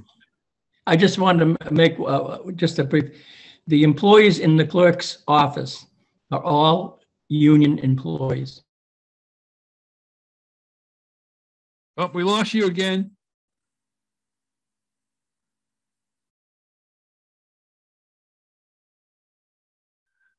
Technology. David? Yes. We, we, the last word we heard you say was union employees, and then you, we lost everything you said. Well, after that, there was a, a, lot of bad language, so I'm glad you didn't hear it. This this computer of mine is just fading out on me. Um, the, the, the four employees in the clerk's office are union, union employees. They, they all work by, by union contracts. Okay. The, the employees in the selectman's office do not. They're not, they're non-union. Just to give you, some people have an interest in that. Thank you. Okay, with that. Um, Any other questions for, uh, for, for David or Sophie on the uh, clerk's budget? Al Tosti's got his hand up. Does that include the town clerk, David? No, the town clerk is, is, is not union. It, it's just the assistant town clerk and the, uh, the, the, the other ladies that work, they are union. And it, there's two different unions there. The assistant town clerk is in a different union than the, than the other, other three. A, a different. Okay, we lost David again. We'll move on. Um, David, can you hear me?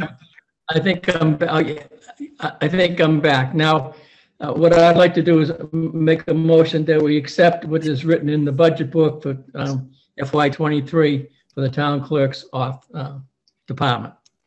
There a second? Second. So it's been moved and seconded. Any further discussion? Okay, uh, begin with the roll call vote on the town clerk's budget. Grant Gibian. Yes. Jane Blundell, Yes. John Ellis, Yes. Micaiah Healy, Yes. Sophie Migliazzo, Yes. Jonathan Wallach, Yes. Shailene Pokris, Yes. Daryl Harmer, Yes. Annie LaCourte, Yes. Alan Jones, Yes. George Koser, Yes. Bill Keller, Yes. Alan Tosti, Abstain. Wanda Nascimento, Yes. Christine Deshler, Yes. Dean Carman, Yes. and David McKenna. Yes. Okay, we have um, four, seven, 10, 12, 16 in favor and one abstention. So the, um, the, bu- the budget is passed. Okay. And the next budget, Charlie, would be the election, election budget. on Okay. page si- On page 60 of- of our um, budget book.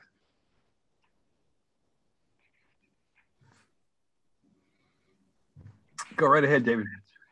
And you'll notice that the- the the salaries and wages, th- th- um,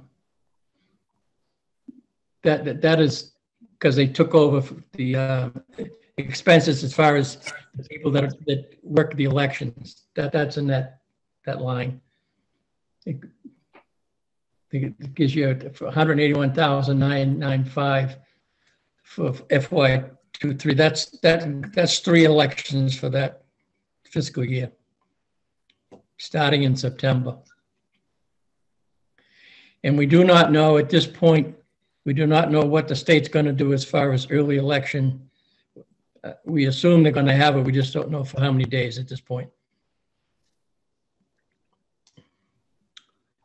Um, In line 5208 rental of buildings, there's no more, they, they used to rent the uh, Congregational Church up on Park Avenue for precinct 20, and they don't rent that building anymore. And um, electronic voting equipment, that also includes the clickers at town meeting. And my understanding is that that's, I think the contract is up on that. Um, I believe, or it's, it's gonna expire, but that, that- that pays for the clicking. Another thing, uh, just on a side note for the, uh, for capital expense, uh, the town clerk is going to, um, uh, well, she's put in for, they, they they call it the voting pads. I don't know if you're familiar with them or not, but on early election, the people would be sitting and they had a little pad and it, you'd, you'd give your name. And it was like, a it's a way of signing in to vote rather than the old way of the voter list and, and someone taking a number two pencil and drawing a line through it. She's, she's put in for that for 17 more, um, for, one for each precinct. And, um, that's in the, in, in the capital. She's put in for that, so, uh, u- u- under the, um, electronic equipment. And also for the, the clickers at town meeting.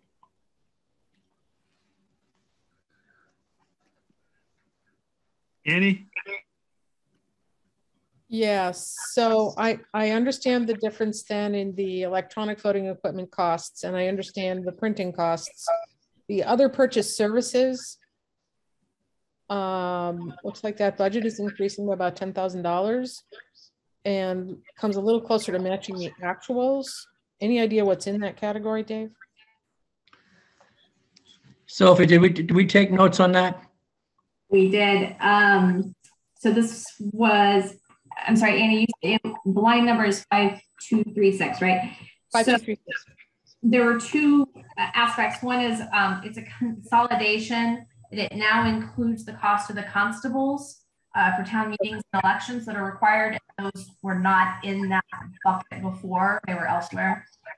Um, the other item is three thousand dollars for an accessibility for the blind to vote by mail. They had to hire a specialized company now that allows this requirement for accessibility to vote when blind. Got it. Any other questions on this budget? Uh-oh. I see any hands up. Yes, Shane. Thanks, Charlie. Just want to make sure I understand. So the the reverberation in salaries and wages every year, that's because the odd year FY budget has an even year calendar year. So we're have a state election. I'm just looking because I'm looking at 2021 versus 2023, and that's a difference of like $45,000. Is there? I get that it fluctuates, but like, why does it? It's a it's a lot bigger than our last election in 2022. Our last election, we only had one election, the town election, in this in the budget cycle. We didn't yeah, have. but We, we did ask her, I, I asked her specifically that question and she said part of what we're seeing though is the inconsistently, uh, inconsistency prior to her arrival of it being paid out of different buckets as well. So you can't really compare, you can't be sure of that number. Okay. Thanks. Kayleen? Yeah, on the tablets, the electronic voting equipment by um, some sort of iPad, it sounds like, where you, you sign in yourself instead of a volunteer signing you in and another volunteer signing you out. Have we piloted that or is this $10,000? It looks like, it's- I don't know if the whole 10,000, but this amount of money, is it, um, is it to pilot this or is this like an investment? Sha- Shannon, we've used these, um, we've used these in early voting the last, um, last two times. So, um, so it's already been piloted, if you will. So now, now what the town clerk wants to do is, is to take, um, and, and put them in every precinct for every election. So there'll be one per precinct. So instead of having, you'd only need one person to, o- to operate the, the little, the- the pad. And somebody comes in, gives their last name and the key's right up there, um, what information they need. Okay, So So we, so it reduces the number of volunteers needed? Is that the general idea? it's, in, in the present setup, even now a- as we speak, um, the, the total number of workers at, an election, on a regular election, not, not the early election, eh, will- be de- decreased already. Um, there used to be eight, now, now it's good. The, when I asked her for the the next coming election, which is a town election, there's going to be a, a warden, a clerk, and two inspectors versus four inspectors. And she might have uh, an, what they call an alternate, come in just for cover for lunches and, and, and supper. So it'd be, um, th- that would be a decrease of I of would- poll, Thank you. poll workers. One, one more addition to that particular line, 5221 electronic voting equipment, is she specifically also mentioned that annual fees for some of the equipment were previously paid out of other buckets as well. So what we will now see going forward is the annual fee that we pay on the equipment covered in this bucket. Bill Keller? Uh, yeah, David, I still got a um, question, I guess, on the printing ballots. Uh, There's a new item, uh, there's a new amount of twenty thousand dollars for fiscal twenty-three. And uh, is, is that replacing, is printing of the ballots replacing something that was previously done electronically? No. understanding Is this was uh, uh, it's actually several things now. So it takes that printed ballot that was previously on her other um, budget. It's also going to include um, postcards that she has to send out now that there have been changes in precincts, uh, notifying people of the changed precincts. Um, postcards for um, being able to register uh, to vote and various mailings like that that are increased costs this time around. So it's sort of a, it's not just the ballots, it's also all this, these other little postcards that have to be mailed out. Okay, so this, a lot of this reverts back to the town clerk, um, the correct town clerk office budget because they're all under the same roof, correct? Um, Another thing I want to bring to the attention of the um, the Finance Committee, the, um, there's a, uh, one of the things that they've been looking at is for, on voting purposes, is if, um, do you remember when we had the, um, the boards, the panels around town telling you when the next election was and whatnot? And there used to be one for every precinct, and eventually they took them down. Well, there's a proposal to bring them back in a different form, but to bring them back. And they would, if they were able to do that now, they would, they would definitely cut, cut back on the advertising for uh, future elections. So that's another committee that's being formed to study that. A lot of committees being formed. Thank you, David. Okay. Um, Any other questions on the election budget? Charlie, if I could just make one more comment um, that I, I found interesting, which is we actually get some money back on these elections, but it doesn't show up in any of this. Um, so we get, let me see if I can, um, sorry. When there's early voting, the, the time period, so salaries from 7 a.m. to 10 a.m. actually get paid back. Uh, the state pays the town back for that. Um, but it, it ends up going back. So uh, Sandy explained to us today, it goes back into, it goes, the town clerk has a, an account. We don't see that money gets paid into that she can then use. And some of it also goes to the general fund and all of it eventually goes to free cash if it's not used. So there, there is this money allocated for salaries, but we do see some reimbursement. We just never know how much. Um, so they budget the totality here. Presumably some of it comes back. Thank you. Christine, you have your hand up? Yeah, Sophie, that what you just last said, the clerk has a separate fund into which money goes that we don't see? Well, because they don't budget for it. Right? My understanding is that there's this account where the reimbursed money goes that It- she can use. It, it, it, um, Christine, if I can help you out on that, that it's a, s- it, this is relatively new and it has to do with early voting.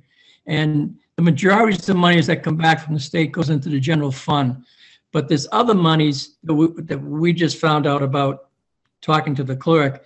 It's a special account set up and it goes from the state to the clerk's office that she can use, I assume, on early voting only. Can we get a report on that? Can we get figure, can we find out how much is in that fund and how much has been spent in that- from that fund? Well, here's the situation. That, that money, as we're talking about it now, hasn't come yet. And they don't know, at this point, you never know what the dollar figure is until the dollar figure is, is, is received.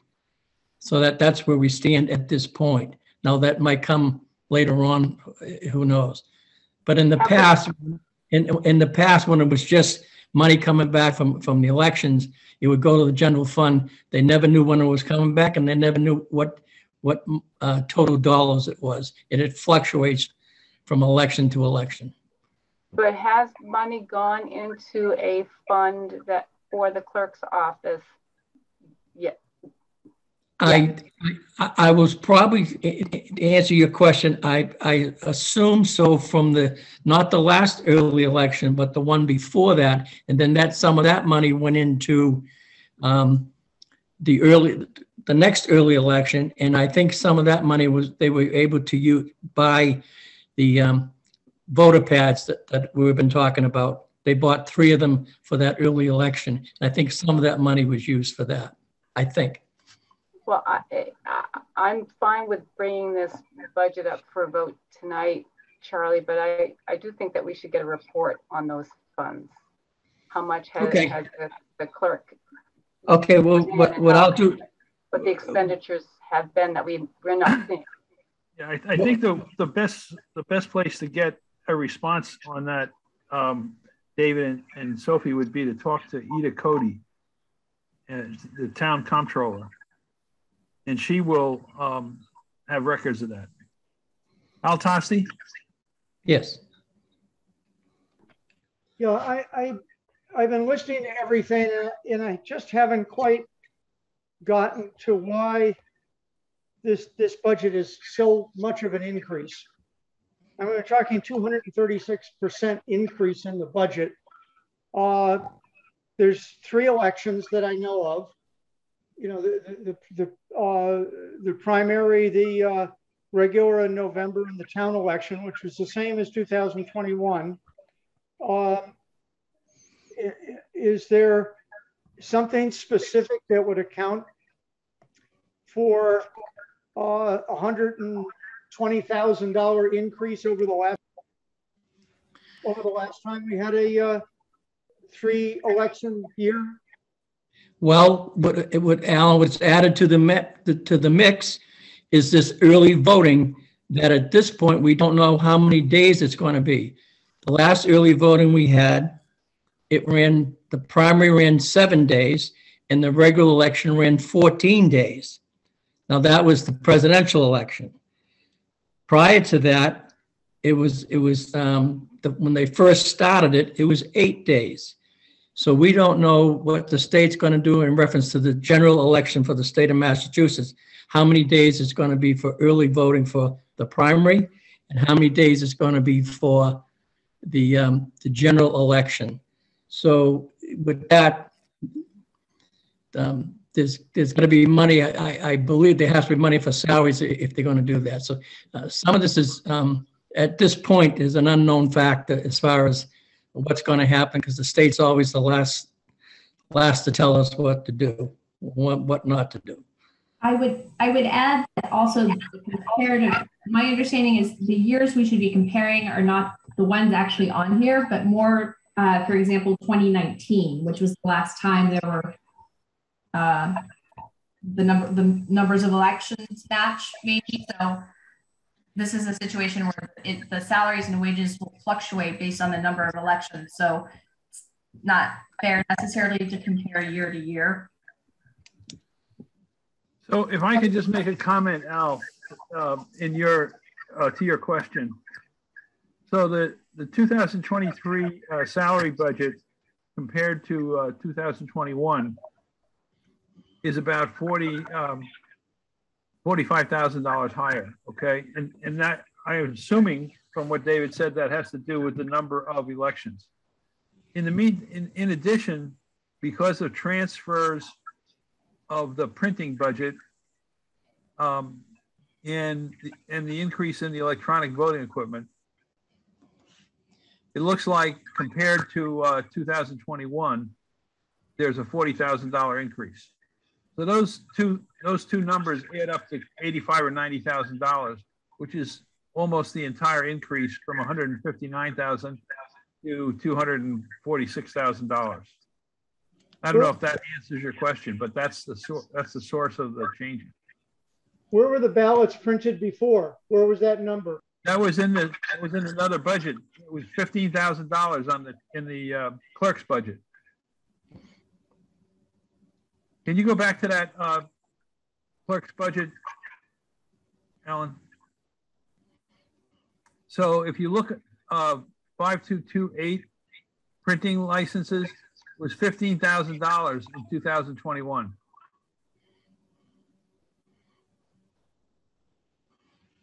And this now they're talking about $20,000 with an, I think an additional election plus early voting.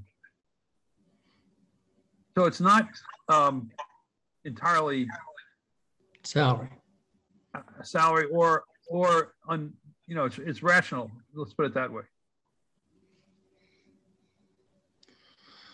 The, the problem is that the number of elections varies in these different years. And as, as uh, uh, Sophie mentioned before, they, uh, meaning the town, perhaps wasn't allocating these um, expenses into the right buckets.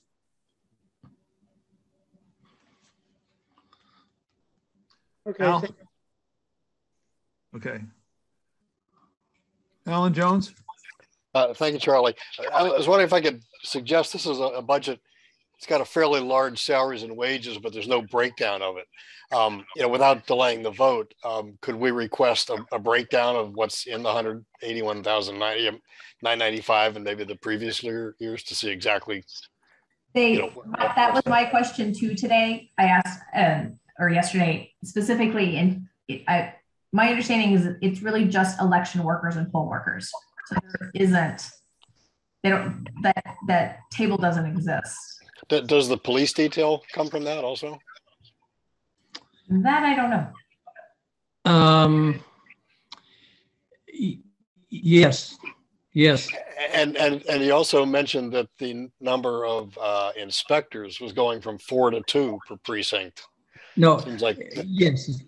So, That's, so let me make a suggestion if I can. I- I think we should postpone this budget. Um, I think that, um, that if you, uh, have a discussion with Ida Cody, you can probably get the breakdown of those expenses in, uh, two thousand twenty-one and two thousand twenty-three. And I think that will, um, answer the questions that were raised by the members.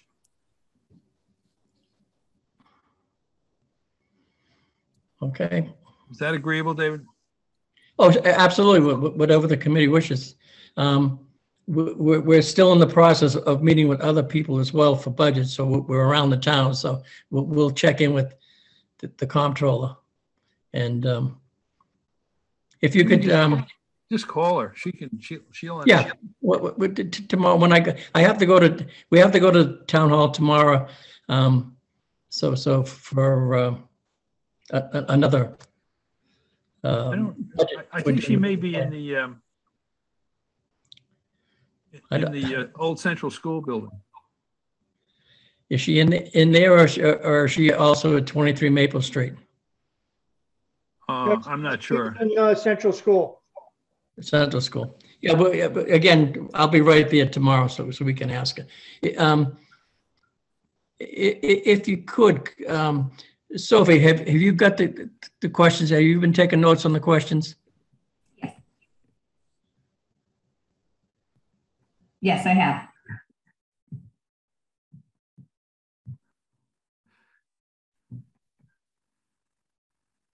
We lost David again. Okay. Is there, is there another budget, David?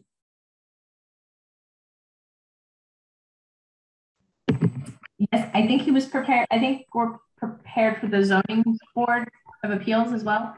Okay, Yeah, Go ahead. yes. thank you. The, um,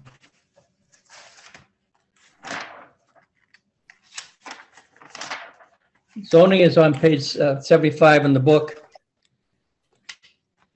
And if you folks remember, when we had the town manager in last, um, last time, that he uh, explained what was going on with- the zoning and appeals.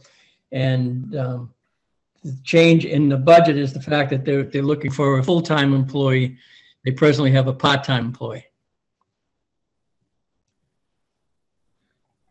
So they're in the process of hiring um, a full-time employee because the workload has just dramatically increased in, in, in the zoning.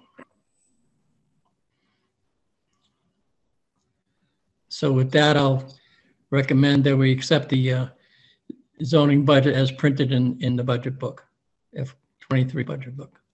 Are there any questions on the zoning, um, board? Yes, Shane. Sorry, basic question. Thanks, Charlie. Can you just remind me like what the scope of the duties for the ZBA are? Um, I, I, I know what the duties are of, of, of the, um, the, the clerk's position in the zoning. What the zoning board does, um, it's not, it's not my expertise. I've, I've never had anything to do with zoning, so if someone could help me out here. They have to have hearings, uh, that they go through the redevelopment board. Uh, Sophie, you, you can, I know you have some familiarity with the zoning. Um, well, I think my basic explanation would be it's the board that oversees sort of um, i- i- applications for special permits, for variances. Um, if there are any complaints and disputes with the building inspector's office, um, uh, 40B housing, you know, anything that's related that needs permits and anything zoning bylaw related that's the, the Board of Appeals level after you go through the development board to permits, if you can appeal it. Building inspector, you can appeal it. So it's that upper level. And then from there, you would go to state court if you're not um, satisfied with their decision. Thank you. Any other questions on uh, the zoning board? Okay, go ahead. Uh, did you make a motion, uh, David? I did. Okay, is there a second? Second, Seconded by Annie LaCourt. So, um, any further discussion? Hearing no further discussion, I'll take the roll call vote. Grant Gibian, Yes. Jane Blundell, Yes. John Ellis, Yes. Micaiah Haley, Yes. Sophie Migliazzo, Yes. Jonathan, Yes. Shailene Pokras, Yes. Daryl Harmer, Yes. Annie LaCourt, yes. Alan Jones, Yes. George Koser, Yes. William Keller, Yes. Alan Tosti, Yes. Wanda Nascimento, Yes. Christine Deshler, Yes. Dean Carman, Yes. and David McKenna. Yes. Thank you. It's unanimous vote. The zoning board of appeals budget. The next, uh, do you have any more budgets tonight, David? Uh, no, no, uh, that's it for Sophie and I for tonight. And Well, we'll, thank you for doing all this work on such a short, short period of time. Um, as Sophie and I have been on an adventure. Okay, so um, the next is uh, the um, reclass reclassification plan and human resources. Um, Micaiah, are you uh, prepared for that? Yes, and I will try to entertain myself so that we can all stay awake. Um, I, th- I promised everybody that we would go to bed early, so um, or at least end on time. So the HR budget's on page 30. And um, if you wouldn't mind, please pulling that up for everybody to see. I do miss being in public or being in person because I'm sure you can probably hear my computer fan and all kinds of technical stuff. So I apologize if that is a distraction. Um, okay, so um, we can walk through the through the line items, um, sort of like Professor Sandy. Um, and uh, so they're number one, I think there'll be a little change in salary and wages um, in the and the longevity. Um, they did have a person that was promoted to another department, um, and the person that replaced that per, per um, that replacement went to a lower step. So there, that's the very small change in um, right there. So number two, uh, longevity. Um, generally speaking, longevity is just is simply a bonus for the years of service. Um, and how that is allotted came about from town meeting. Um, that's how the manager schedule, um, the M schedule follow that rule. Um, and it's usually a percentage after five years of service. Um, but for the most part, it's an allotment um, dictated by uh, respective collective bargaining agreements. and that can vary uh, from uh, varies from percentage to flat dollar amounts. Um, so depending on which, whether you're union or non-union um, and what group of employees that you're in. Um, so if ever finance committee or we wanted to make a change to that structure, it would need to be bargained away. So um, uh, it's just a, a, system that that the director said that she she uh, she inherited. Um, and this is not unusual again among municipalities. A lot of people do these uh, steps and longevity. So just background for myself again, as I was reviewing my notes from last year. Um, and then for any, any new person that needed that. Um, so if you look at the longevity number on this, this first page and you flip to the salary side, you'll see that the total matches up. it's $7,850. Um, and uh, the difference there is, is based on the steps um, uh, from, um, from the salary. Uh,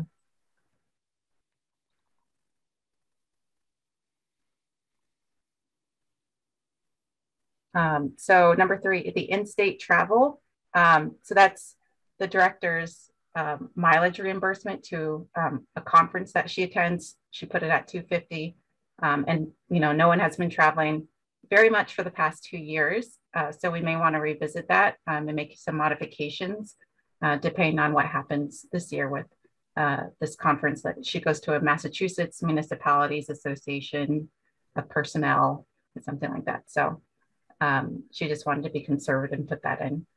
Um, the training budget, you'll see that it is, again, $50,000. Um, it's used, half over half of the budget is used for facilitated, facilitated training with the National League of Cities, um, the NLC.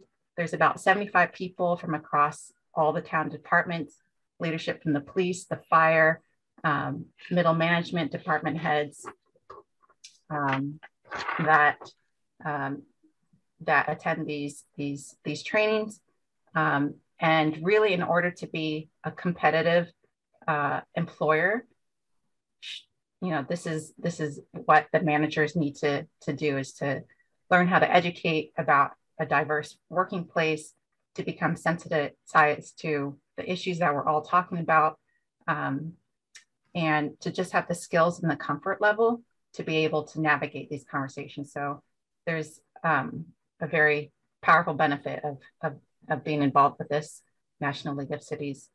Um, there's two other components to this budget um, or to this, this item here. So she, this is also where she pays for civil service exam promotional assessment centers. So this is what um, what uh, the school committee was presenting on. And it's basically these assessment centers, it's an intensive interview process that allows them to, um, that is administered by a third party vendor. That's how the state um, uh, dictates that. Um, and so they can, they can uh, you know, learn more about the interpersonal skills, about their public speaking skills, about conflict manage management skills, um, just additional um, addi additional set of skills um, for their candidates out, outside of the written test that um, is normally handed to them um, or the list of candidates that get handed to them. Um, and then the third component um, of training is uh, this three-year benchmark study also that was referenced tonight. Um, and that looks at 100 schools and 12 town communities uh, to see where Arlington stands up um, and again, that is a three-year process. We started in fiscal year 14. Um, so if I can do the math, but 17, 20, and 23. So this June is when she, um, the HR director will restart this process.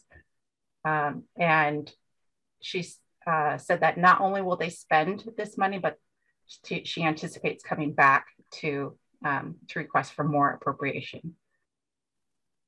Um, office supplies. Um, so that's, you know, the original appropriation is 2,500. Um, last year, FinCom gave money in the capital budget for certain modules in Munis to go paperless. Um, and all, and so all of their personnel transactions are paperless. Um, and they all of their onboarding materials all are all digital. Um, but again, we can revisit this in 2024.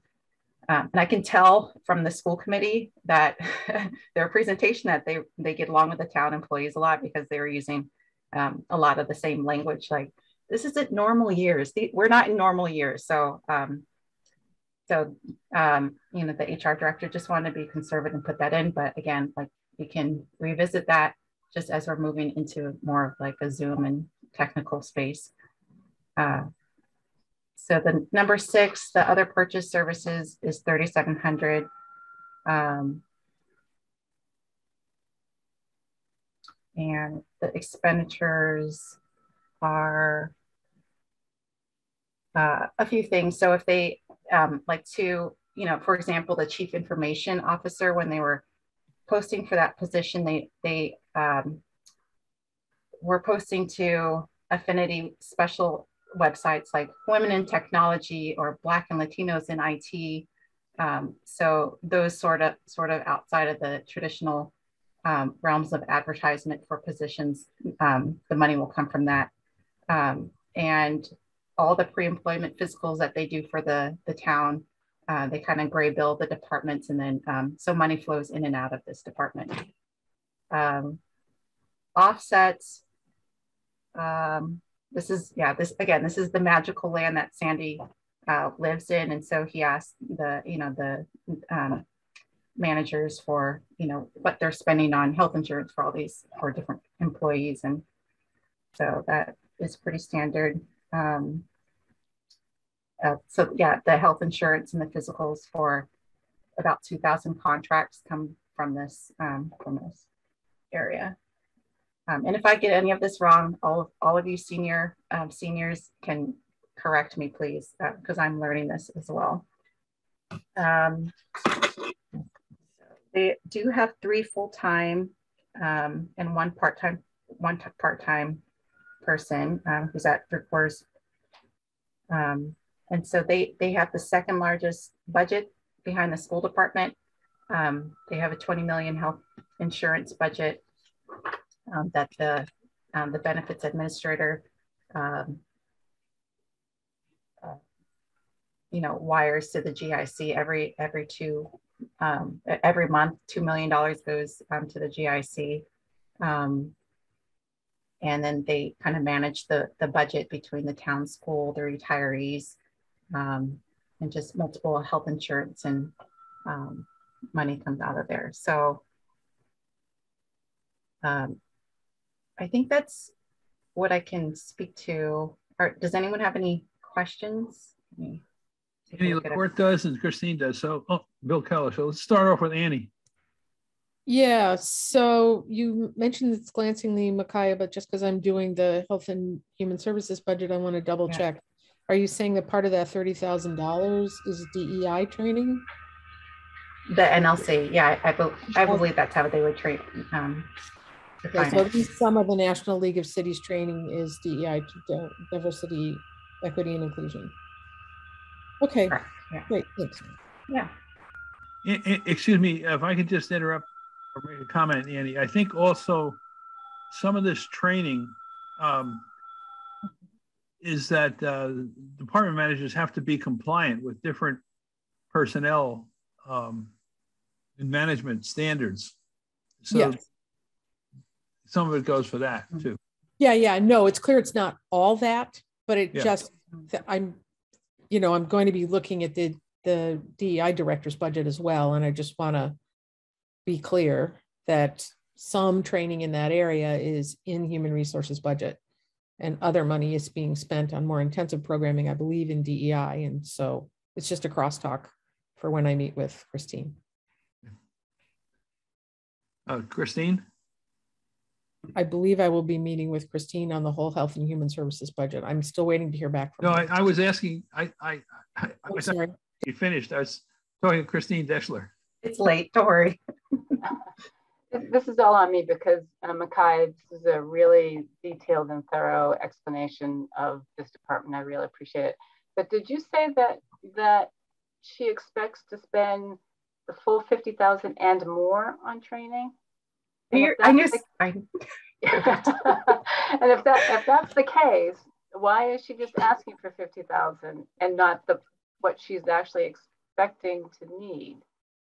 That that is a fantastic. As soon as I said that, uh, like I was reading my notes on, and I, I, you were the one. Um, I I don't know. I can ask her. Thank you. Or the alternative question is, where does it come from? Yeah.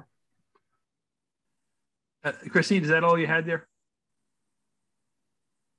Yes, I, that, that's all. Thank you very much.